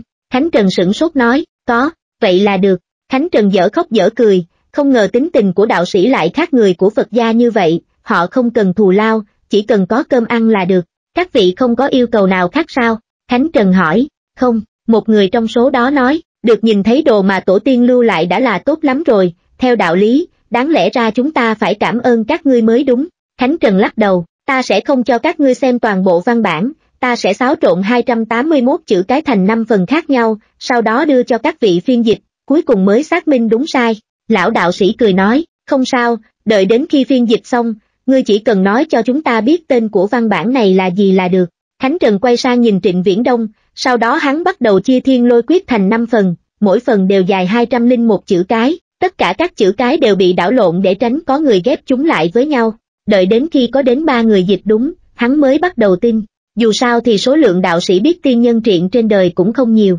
Gần nửa giờ sau, năm tên lão đạo sĩ đều đưa cho hắn một văn bản. Khánh Trần lắp ghép các văn bản lại với nhau, sau đó nghi ngờ nói, tiêu đề là vạn thần lôi ti. Một lão đạo sĩ lập tức sáng mắt lên, vạn thần lôi ti, thế gian này quả thật có vạn thần lôi ti. Cửu thiên ứng nguyên lôi thanh phổ hóa thiên tôn vạn thần lôi ti, Khánh Trần không thèm để ý đến hắn, bởi vì đầu hắn đang bận lắp ghép những ký tự trên năm văn bản mà các đạo sĩ vừa phiên dịch ra thành truyền thừa vạn thần lôi ti. Toàn bộ văn bản có 281 chữ, trừ đi tiêu đề vạn thần lôi ti ngoài ý muốn, chỗ còn lại có 277 chữ cái, trong đó chia làm 4 phần. Phần thứ nhất là chí đạo, phần thứ hai là khí số, phần thứ ba là tam tai cửu ách, phần thứ tư là ti sinh ti sát, lại là bốn phần thuật hô hấp. Tại sao tất cả những phương pháp tu luyện chính thống đều có thuật hô hấp? Chuẩn đề pháp có, vạn thần lôi ti cũng thế, tuy nội dung của mỗi truyền thừa khác nhau, nhưng phương pháp chân chính để giải phóng nó chỉ có thuật hô hấp. Câu đầu tiên tiết điểm là hút, câu thứ hai tiết điểm là hô, từng câu nối tiếp nhau tạo thành thuật hô hấp, cuối cùng tạo nên một truyền thừa mới. Khánh Trần không ngừng điều chỉnh nhịp thở, sau đó hắn bắt đầu áp dụng truyền thừa vào nhịp thở của mình. Sau khi hắn hoàn thành thuật hô hấp tầng thứ nhất là chí đạo, dưới mí mắt của hắn bắt đầu tỏa ra một ít ánh sáng màu vàng kim, như thể trong đôi mắt khép hờ đó đang có thứ gì đó chuẩn bị chui ra. Nghe nhị cẩu vừa nhìn vừa thầm nghĩ, nếu lúc này Khánh Trần chảy ra một giọt nước mắt thì có lẽ trong giọt nước mắt đó cũng ẩn chứa rất nhiều sấm sét. Khi Khánh Trần hoàn thành phần thứ hai của thuật hô hấp là khí số, trong luồng hơi nước mà hắn phun ra cũng ẩn chứa rất nhiều ánh kim. Nếu chỉ xét riêng về thanh thế của thuật hô hấp thì vạn thần lôi ti đúng là mạnh hơn chuẩn đề pháp rất nhiều. Khi Khánh Trần hoàn thành phần thứ ba của thuật hô hấp là tam tai cửu ách, tuy khí thế trên người hắn vẫn y nguyên như thế, nhưng sau lưng hắn bắt đầu ẩn hiện ánh vàng kim. Khi Khánh Trần hoàn thành phần thứ tư của thuật hô hấp là ti sinh ti sát, hai bên gương mặt hắn bỗng xuất hiện hai đường vân hình ngọn lửa, một phần sáng hình tròn do vô số lôi điện tạo thành xuất hiện sau lưng hắn. Lão đạo sĩ thấy cảnh này liền kinh ngạc, thiên, thiên tôn. Nói đến đây, tất cả các đạo sĩ bắt đầu quỳ xuống nhưng lại bị nghe nhị cẩu vội vàng ngăn lại, không được, không được. Lão đạo sĩ không biết lấy sức mạnh từ đâu mà đẩy một siêu phàm giả cấp B như nghe nhị cẩu sang một bên, sau đó tức giận nói, không được vô lễ trước mặt thiên tôn. Các ngươi nhanh quỳ xuống, chớ có mạo phạm thiên tôn, nghe nhị cẩu, lộ viễn, trịnh viễn đông, chấm chấm chấm, Khánh Trần mở to mắt, nhìn trịnh viễn đông, là thuật hô hấp, có thể tu luyện. Lúc này, lôi điện trong cơ thể hắn đang không ngừng cuồn cuộn, trước kia nó chỉ như một con suối êm dịu, nhưng bây giờ chúng đã biến thành một vùng biển rộng lớn. Khánh Trần nói, phần thứ tư thuật hô hấp không thể tùy tiện cho người khác, phải tiến hành theo chất lượng, nếu tùy tiện dùng phần thứ tư của thuật hô hấp thì có thể khiến người đó tiến vào trạng thái vấn tâm, các ngươi có thể hiểu nó chính là tâm ma, nếu không cẩn thận thì rất có thể sẽ chết người. Sau khi tham khảo chuẩn đề pháp và vạn thần lôi ti, Khánh Trần đã có thể chắc chắn, tất cả những phương pháp tu hành trên thế gian này đều có chung một nguồn gốc, nếu muốn vượt qua ranh giới giữa cấp B và cấp A ở thì nhất định phải vượt qua vấn tâm. Nhưng kỳ quái là, tại sao dị năng giả lại không phải vượt qua vấn tâm? Khánh Trần trầm tư, không đúng không đúng, những có lẽ những sự kiện có thể khiến người ta thức tỉnh cũng được coi là một hình thức khác của vấn tâm. Đáng mừng là, luồng chân khí mà vạn thần lôi ti sinh ra trong quá trình tu luyện tuy không thể cường hóa thể chất của hắn, nhưng lại có thể giúp hắn tăng cường lôi điện trong cơ thể. Có lẽ nếu muốn để dị năng lôi điện đột phá cấp A thì phải dựa vào vạn thần lôi ti. Chỉ là, Khánh Trần cũng không biết khi nào lôi điện mới có thể đậm đặc đến mức biến đổi lượng thành chất. Bên kia, nghe nhị cẩu và lộ viễn lập tức quay sang nhìn nhau, đó là phương pháp tu luyện chính thống thật sao? Cả bốn phần của thuật hô hấp, phương pháp tu luyện chính thống không có tác dụng phụ, Trịnh Viễn Đông thở vào nhẹ nhõm. Trong diễn đàn học viện, có người đăng bài post, nghe nói hôm nay các học viên của khoa nông nghiệp đi lấp những cái hố mà hôm qua chính họ đào lên, ha ha, thật là, có người nói, đây cũng quá thảm rồi đi, đúng là rất thảm, sau khi tan học, những người này còn chẳng thèm lên lớp, cả đám mệt đến mức không đi được. Lúc này, có người đăng một tin mới, các đại ca đại tỷ, ta muốn nhờ các vị một việc, những người đang làm việc trong công ty Vân Liên ở thành phố số 10 có thể lên tiếng được không? Bây giờ ta đang cạnh tranh chức chủ quản, nếu ai có thể giúp ta thăng chức thì ta sẽ trả 40 điểm tích lũy. Đây chính là số điểm ta vất vả kiếm được trong hai ngày nay. Bây giờ tất cả đều đã được cẩn thủ bí mật thuật nên không ai sợ bị bại lộ thân phận nữa, vậy nên mới bắt đầu có người nảy ra ý tưởng nhờ những đại lão giúp đỡ. Tuy bài viết này có vẻ khá bình thường, nhưng nó lại như một hòn đá ném xuống hồ tạo nên vô vàng con sóng, bởi vì trước đó chưa có học viên nào thử giao dịch điểm tích lũy với nhau. Có người bình luận, làm sao để giao dịch điểm tích lũy? Chính chủ trả lời, rất đơn giản, trong trang cuối của app có một khu giao dịch, đây chính là khu vực dành cho các học viên ra nhiệm vụ. a hình như có thật, con mẹ nó, vậy mà có thể giao dịch điểm tích lũy thật. Chờ một chút, ta trả giá 10.000 nhân dân tệ cho 100 điểm tích lũy, có ai bán không? Ta có thể đi uống rượu rồi ha ha ha, có người bình luận, con mẹ nó, sao chỗ này lại gặp được người rửa tiền ở đây, chỉ là, sau khi xem qua giao diện giao dịch, mọi người mới phát hiện những nhiệm vụ ở đây đều vô cùng bình thường, bởi vì sau khi ngươi đưa ra nhiệm vụ, những nhiệm vụ này sẽ được chuyển đến cho Côn Luân xét duyệt, sau đó nhiệm vụ này mới được đưa ra, sau khi có người hoàn thành nhiệm vụ, cũng phải đợi Côn Luân xét duyệt rồi người hoàn thành mới có thể nhận được điểm tích lũy của người ban bố nhiệm vụ. Ngươi không thể đưa ra nhiệm vụ giúp ta thả cái rắm ở thế giới trong để rửa tiền, vì nó không thể thông qua xét duyệt, vì biết có người đứng sau xét duyệt nhiệm vụ, nên những người muốn rửa tiền bắt đầu nghĩ ra một cách, đó là đề cao độ khó của giao dịch và giảm thấp chi phí chi trả. Nhưng đúng lúc này, trong app diễn đàn bỗng nhảy ra thông báo có bài post mới của trường. Sau khi nhấn vào phần đổi điểm tích lũy, thứ có thể đổi được chỉ có một, đó chính là phương pháp tu luyện chính thống vạn thần lôi ti, cũng chính là phần thứ nhất của thuật hô hấp, số điểm tích lũy cần chi trả là 200 điểm tích lũy. Đây là một bậc cửa rất thấp,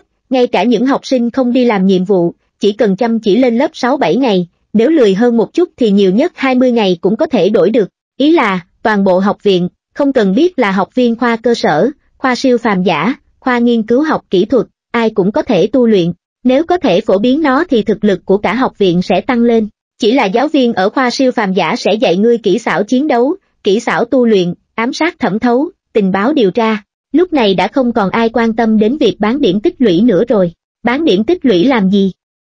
Dù ngươi có bán được điểm tích lũy thì cũng chưa chắc đã đổi được công pháp vạn thần lôi ti nghe rất trâu bò nha. Hai mắt ma kinh kinh sáng rực nhìn màn hình điện thoại, cuối cùng thì họ cũng chờ được thứ mình muốn rồi. Hơn nữa mỗi ngày khóa nông nghiệp đều phát 30 điểm tích lũy, số điểm này còn cao hơn cả những người đi làm nhiệm vụ nữa. Thời gian đếm ngược 64, sáng sớm, trong một gian ký túc xá nào đó, một người thanh niên với sắc mặt trắng bệch mở mắt ra, hắn nằm trên giường và giơ bàn tay lên, nắm chặt rồi lại buông lỏng, giống như đang làm quen với sức mạnh trong cơ thể. Rõ ràng là cơ thể của mình nhưng nó vừa quen thuộc vừa xa lạ. Hắn ngồi dậy, bạn cùng phòng không biết đã đi đâu từ sớm. Người trẻ tuổi sờ dưới gối, lấy ra một bức thư viết cho bản thân. Nhìn dòng chữ nguệt ngoạc cẩu thả trong bức thư, hắn cau mày, ca ca thân mến, hai ngày nay ta đều đi học đầy đủ, mỗi ngày sau giờ học đều cố gắng kiếm điểm tích lũy, hôm trước ta tham gia một trận đấu bóng rổ, đăng ký đi nghe một buổi tọa đàm, hôm qua ta tham gia thi đấu cờ vây, lọt tốt 16 luôn đấy, lợi hại không, bây giờ ta đã gom góp được 115 điểm, ca ca đừng tiêu xài lung tung, được rồi, ca ca có thể tiêu 35 điểm, ăn thứ gì đó ngon ngon hoặc uống mấy chén rượu, ta không sót đâu, ca ca thích uống rượu thì cứ uống đi, nhưng mà, ca ca vẫn phải cố gắng để lại cho ta một ít đấy, vì ta muốn đổi thuật hô hấp bậc một trong vạn thần lôi ti của học viện chơi thử. Với cả mọi người đều nói mấy bộ phim trong rạp chiếu tư nhân ở đây hay lắm, ta muốn đi xem. Đúng rồi, hôm nay ta còn tranh được tiếp sinh tồn giả ngoại sau giờ học nữa, ca ca nhớ đi học giúp ta đấy, còn có cuộc thi cờ vây giành top 8, ca ca chơi cờ giỏi hơn ta, nhất định có thể lên cấp, ca ca cố gắng lên. À mà giác ca đã hứa với ta lần sau ta trở lại hắn sẽ dẫn ta đến một chỗ hay ho, hàng mày nhíu chặt hơn trên gương mặt tái nhợt của người trẻ tuổi, nhất là khi hắn nhìn thấy mấy chữ giác ca, hắn lấy điện thoại ra gọi điện, điện thoại được nối máy, đầu dây bên kia vang lên giọng nói của giác, alo, tiểu vũ à, ca ca đang bận, hôm nay không mang ngươi đi chơi được, mặt huyễn vũ lạnh tanh, ta cho ngươi một cơ hội nói lại lần nữa, ha ha ha ha ha ha, có vấn đề rồi, tín hiệu chỗ ta không tốt, cúp máy nhé, giác sợ hết hồn, Huyễn Vũ không so đo việc giác thừa dịp mình không có ở đây ngồi lên đầu lên cổ mình, hắn chỉ nói với giọng điệu lạnh lùng, ngày ngày ngươi đi sớm về trễ là làm gì đấy, giác, à, ta đi thăm dò hòn đảo này, hình như mảnh đất phía nam là khu cấm kỵ, chỉ có điều quá tối tăm, không biết bên trong có gì, ta bảo ngươi xác nhận Khánh Trần có phải đang đóng giả Trần Tuế không, ngươi đã xác nhận chưa, alo, tin hiệu trong lòng đất kém quá. Khi nào ta lên mặt đất sẽ gọi lại cho ngươi, cuối cùng giác cúp điện thoại, Huyễn Vũ ngạc nhiên nhìn điện thoại di động, chuyện gì thế? Hắn rời giường mặc quần áo tử tế, nhìn một loạt con ếch mình đặt trước cửa, xác nhận không có điều gì khác thường mới đi đánh răng rửa mặt. Hắn nhìn khuôn mặt nhợt nhạt của mình trong gương, sau đó xoay người đeo cặp sách lên rồi ra khỏi cửa, đến khu dạy học chính. Trên đường đi, Huyễn Vũ mở ba lô ra xem. Hắn đã viết thư dặn đi dặn lại đệ đệ mình nhất định phải gấp chim Vũ Yến, kết quả đối phương vẫn gấp một ba lô ếch, không cần nghĩ cũng biết chắc chắn là giác dở trò. Chương trình học của một ngày quá mức nhàm chán với một cao thủ như huyễn vũ, còn các học sinh khác nghe giảng say sưa, dù sao cũng đều là chương trình học rất thực dụng, chẳng hạn như dạy ngươi đề phòng bị lừa gạt, cách tự bảo vệ mình ở thế giới trong, cùng với chương trình dạy chiến đấu thực dụng và kiến thức cơ bản về chiến đấu. Nhưng những thứ đó không hề có tác dụng với huyễn vũ. Buổi chiều 3 giờ 40 phút, tan học, hắn đi đến tòa nhà dạy học của Học viện Khoa học Công nghệ, định bụng quan sát Trần Tuế từ xa.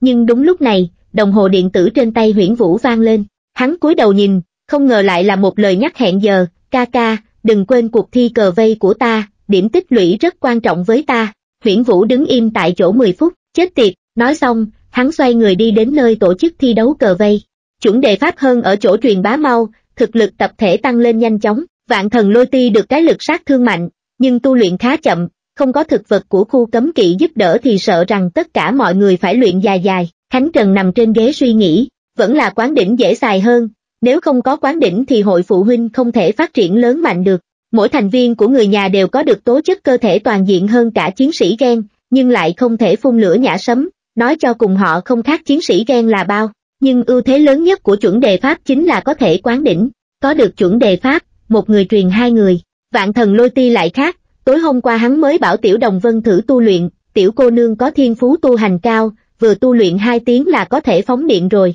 Nếu hơn 60.000 người du hành thời gian trong trường học đều có thể phóng điện chơi thì phải kinh khủng đến mức nào. Chẳng qua thuật hô hấp 4 cấp bậc của vạn thần lôi ti cũng nhắc nhở Khánh Trần một việc, nếu như tất cả truyền thừa tu hành chính thống đều phải thông qua vấn tâm mới có thể đạt đến cấp A, vậy chắc chắn chuẩn đề pháp cũng có thể đạt đến cấp A. Đối với kỵ sĩ, vừa xông lên đã dùng luôn thuật hô hấp bậc 4, người nào người nấy đều kêu la không chịu nổi. Nhưng với những người ti hành chuẩn đề pháp, ba cấp bậc đầu của thuật hô hấp giống như làm nền cho bậc thứ tư, giảm bớt thương tổn do sử dụng trực tiếp thuật hô hấp bậc 4 mang lại. Rốt cuộc trong chuẩn đề pháp ghi lại, trước kia trong núi tuyết Tây Nam từng có Phật gia cấp A, dị năng giả cấp A yếu một chút cũng là cấp A, tuy phần lớn người vẫn khốn khổ vấn tâm, nhưng rồi sẽ có người tài năng xuất chúng vượt qua được cửa ải này, chưa biết chừng trong bạch trú và hội phụ huynh cũng sẽ xuất hiện vài dị năng giả cấp A cũng nên. Lúc này, nếu Phật gia dưới suối vàng nghe được những gì Khánh Trần nói, có khi sẽ nhảy dựng lên mắng chửi, một người đánh không lại 12 kỵ sĩ cấp A là nhược á, kỵ sĩ có còn biết xấu hổ không hả? Khánh Trần ngẩng đầu lên nhìn, công việc của học viện nông nghiệp hôm nay vẫn là đào hồ, thật là một ngày đơn điệu và nhàm chán. Hắn nhắm mắt, tiếp tục tu luyện thuật hô hấp của vạn thần lôi ti, khiến lôi tương trong cơ thể phát triển không ngừng. Hiện nay, lôi tương trong người hắn vẫn còn rất nhỏ, thậm chí còn không thể lấp đầy phủ tạng. Biết đâu một ngày nào đó lấp đầy được cơ thể là có thể đột biến giống như chân khí của kỵ sĩ. Trong lúc tu luyện, sáu học sinh nghe được tiếng sấm ầm ầm phát ra từ cơ thể của Khánh Trần, ai nấy đều kinh ngạc và khó hiểu. Chỉ có điều, cuộc sống của họ cũng khô khan và buồn tẻ như mảnh đất này, cứ đào hố, lấp hồ, như thể không thấy tận cùng. Trong học viện, các học sinh hừng hực khí thế kiếm điển tích lũy, tất cả mọi người giống như phát điên vậy, trước kia chơi quân ợp qua Grab cũng không hăng say đến vậy, vạn thần lôi ti, chỉ cần có thể lấy được truyền thừa tu hành, việc đó quan trọng hơn tất cả. Mọi người đều đã từng lãng phí thời gian ở thế giới, họ biết rõ nếu có thực lực thì cuộc sống sẽ đón nhận những thay đổi nghiêng trời lệch đất thế nào. Có thể giết chết đại ca của câu lạc bộ, tự mình lên làm đại ca, có thể làm vệ sĩ cho đội buôn hoang dã, có thể tự làm thợ săn hoang dã, có thể không bị bắt nạt nữa, có thể tổ chức thành đội, nhóm đi khu cấm kỵ thám hiểm, có thể đi xem đại thụ chọc trời trong truyền thuyết ở khu cấm kỵ số 002, trong hoàn cảnh nguy hiểm, một phương pháp tu hành chính thống trở nên vô cùng sáng lóa. 3 giờ 40 phút chiều tan học, tất cả mọi người lao ra khỏi lớp học như ông vỡ tổ. Đầu tiên là tham gia hoạt động thể thao, kiếm một điểm tích lũy, đánh bóng truyền, đánh bóng bàn, quần vợt, chơi bóng rổ, đá bóng, trò gì cũng có, tuy hơi mệt nhưng điểm tích lũy quan trọng hơn tất cả mọi thứ. Dần già, trong trường học không còn mọc sách hay ma ốm, một đám học sinh đeo kính còn chơi hăng hơn bất kỳ ai. Đến khi gần tối cũng là lúc bắt đầu các chương trình học ngoài trời, sinh tồn giả ngoại, kinh nghiệm hoang dã, thể thao mạo hiểm, kiến thức về súng ống, kiến thức sơ cấp cứu, tổng cộng 27 môn học, môn nào cũng kính học sinh, lớp học chen chúc 400 người, nóng đến mức ai nấy đều nhễ nhại mồ hôi, chỉ nghe giảng thôi cũng không được, còn phải lắng nghe thật nghiêm túc, nếu không khi đi thi mà rớt môn sẽ bị trừ điểm. Đến ban đêm, các học sinh không lang thang trên đảo, lúc trước còn có người nhặt vò sỏ, vỏ ốc trên bờ biển, bây giờ còn nhặt gì nữa, tất cả đều đi nghe tọa đàm hết rồi. Trước kia, mọi người đều tham gia một môn học có chọn lọc, mỗi ngày kiếm được khoảng 2 đến 20 điểm tích lũy, bây giờ người nào cũng tranh nhau hoàn thành 2, 3 môn, thậm chí có người còn có thể kiếm được 45 điểm một ngày, quả thật là cao thủ cày điểm, mệt mỏi.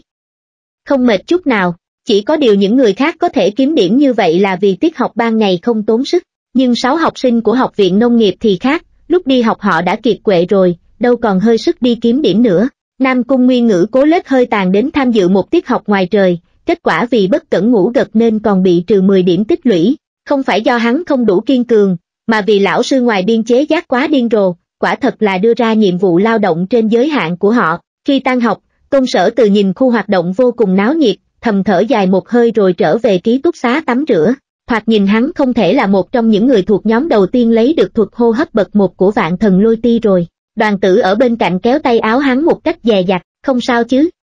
Không cần hâm mộ họ, sớm muộn gì chúng ta cũng có thể lấy được truyền thừa tu hành, chẳng qua là muộn hơn một vài ngày mà thôi, tôn sở từ gật đầu. Nhưng hắn biết, trong trường học tranh đấu kịch liệt như thế này, lấy thuật hô hấp bậc một muộn vài ngày, đến lúc đó lấy được bậc hai sợ rằng sẽ muộn vài tháng, bậc thứ ba thì sao? Có phải sẽ muộn hai năm không? Đôi khi cuộc đời là vậy đấy, chậm chân một bước thì vĩnh viễn tụt lại phía sau. Xin lỗi nhé, tôn sở từ nói, làm hại ngươi đến học viện nông nghiệp với ta, nói gì vậy chứ, đoàn tử miễn cười ngượng ngùng. Bỗng nhiên, nàng cảm nhận được một bàn tay ấm áp nắm lấy tay mình, thế là tuét miệng cười. Tôn boy là tôn boy, cười cũng chẳng đẹp, nhưng nụ cười rất đơn thuần. Đang cười, đoàn tử bỗng nói, ơ, ngươi xem bé gái bên kia kìa, tôn sở từ quay đầu lại, đột nhiên thấy được ở trên sân bóng truyền tiểu đồng vân đang nhảy lên cao và đập một cú cực mạnh, dưới ánh nắng của buổi chiều tà quả bóng truyền bị đập nát, hắn cảm thấy cạn lời, là Lý Đồng Vân của Bạch Trú, đây không phải là bé gái, rõ ràng là người sắc, đoàn tử, ha ha ha ha, tôn sở từ nghĩ đến Bạch Trú, hắn lại gãi đầu, không biết ông chủ của Bạch Trú đi đâu rồi, đoàn phim trở lại rồi cũng chẳng thấy hắn đâu nữa, muốn gia nhập Bạch Trú cũng không gia nhập được, đoàn tử, đúng vậy, nếu có thể gia nhập Bạch Trú thì giờ chúng ta không cần vất vả nữa, đi thôi, mỗi người đều có số mệnh riêng của mình, có lẽ ông chủ ấy đã quên mất chúng ta rồi, tôn sở từ kéo đoàn tử rời đi, đúng rồi, lần này xuyên không có khả năng chúng ta lại phải đến hoang dã một chuyến, vật tư mà ông chủ đó để lại khi trước có lẽ không đủ rồi, chúng ta vẫn phải dựa vào chính mình làm việc. Ta gọi điện cho Lưu Minh, buổi tối mọi người tụ họp bàn bạc xem sau khi xuyên qua thì đi săn ở đâu, hắn đứng trong nắng chiều gọi điện thoại, đồng bạn Lưu Minh nghe máy, tôn sở từ cười nói, alo, Lưu Minh à, tối nay đến phòng ta một chuyến nhé. Hoặc là ta đi tìm các ngươi cũng được, mọi người bàn nhau xem lần này sau khi xuyên không thì đi đâu, ở đầu dây bên kia vang lên tiếng nói cười vui vẻ, Lưu Minh nói với giọng ngập ngừng, hả? Chúng ta phải đến hoang dã à? Khoan hãy đi, nếu không sở từ ca xem xem còn có ai muốn đi không, trong trường có nhiều học sinh muốn đi đến vùng hoang dã lắm, tôn sở từ im lặng vài giây, được, trong ký túc xá vang lên tiếng reo hò, ta đổi được rồi. Hệ thống thông báo ta đến học viện dị năng nhận thuật hô hấp bậc 1, ta cũng đổi được rồi. Ha ha ha, không uổng công ta cày điểm mỗi ngày, ngày đếm ngược cuối cùng. Cuối cùng có nhóm học sinh đầu tiên nhịn ăn nhịn mặt gom góp đủ điểm tích lũy, đổi được chí đạo thuật hô hấp bậc một của vạn thần lôi ti. Những ngày qua, mọi người chỉ chăm chăm cày quốc điểm tích lũy, đến cả rạp chiếu phim tư nhân cũng vắng tanh. Người nào người nấy cũng trở thành nô lệ điểm số hết rồi. Khi tôn sở từ và đoàn tử đi ngang qua phòng ký túc vang lên tiếng hoang hô kia, cũng chỉ có thể cười gượng, họ chưa đủ điểm tích lũy. Đoàn tử kéo tay hắn, không sao, chậm một chút thì cứ chậm thôi, từ, tôn sở từ gật đầu, sau đó đi vào cứ điểm chiến tranh. Nếu thấy hay thì nhớ like và đăng ký kênh để ủng hộ mình nha.